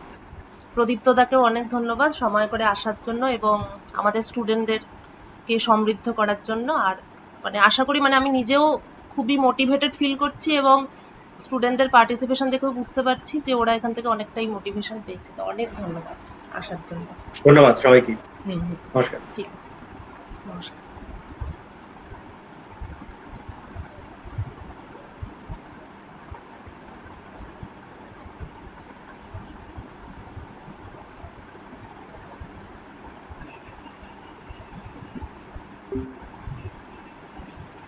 Finish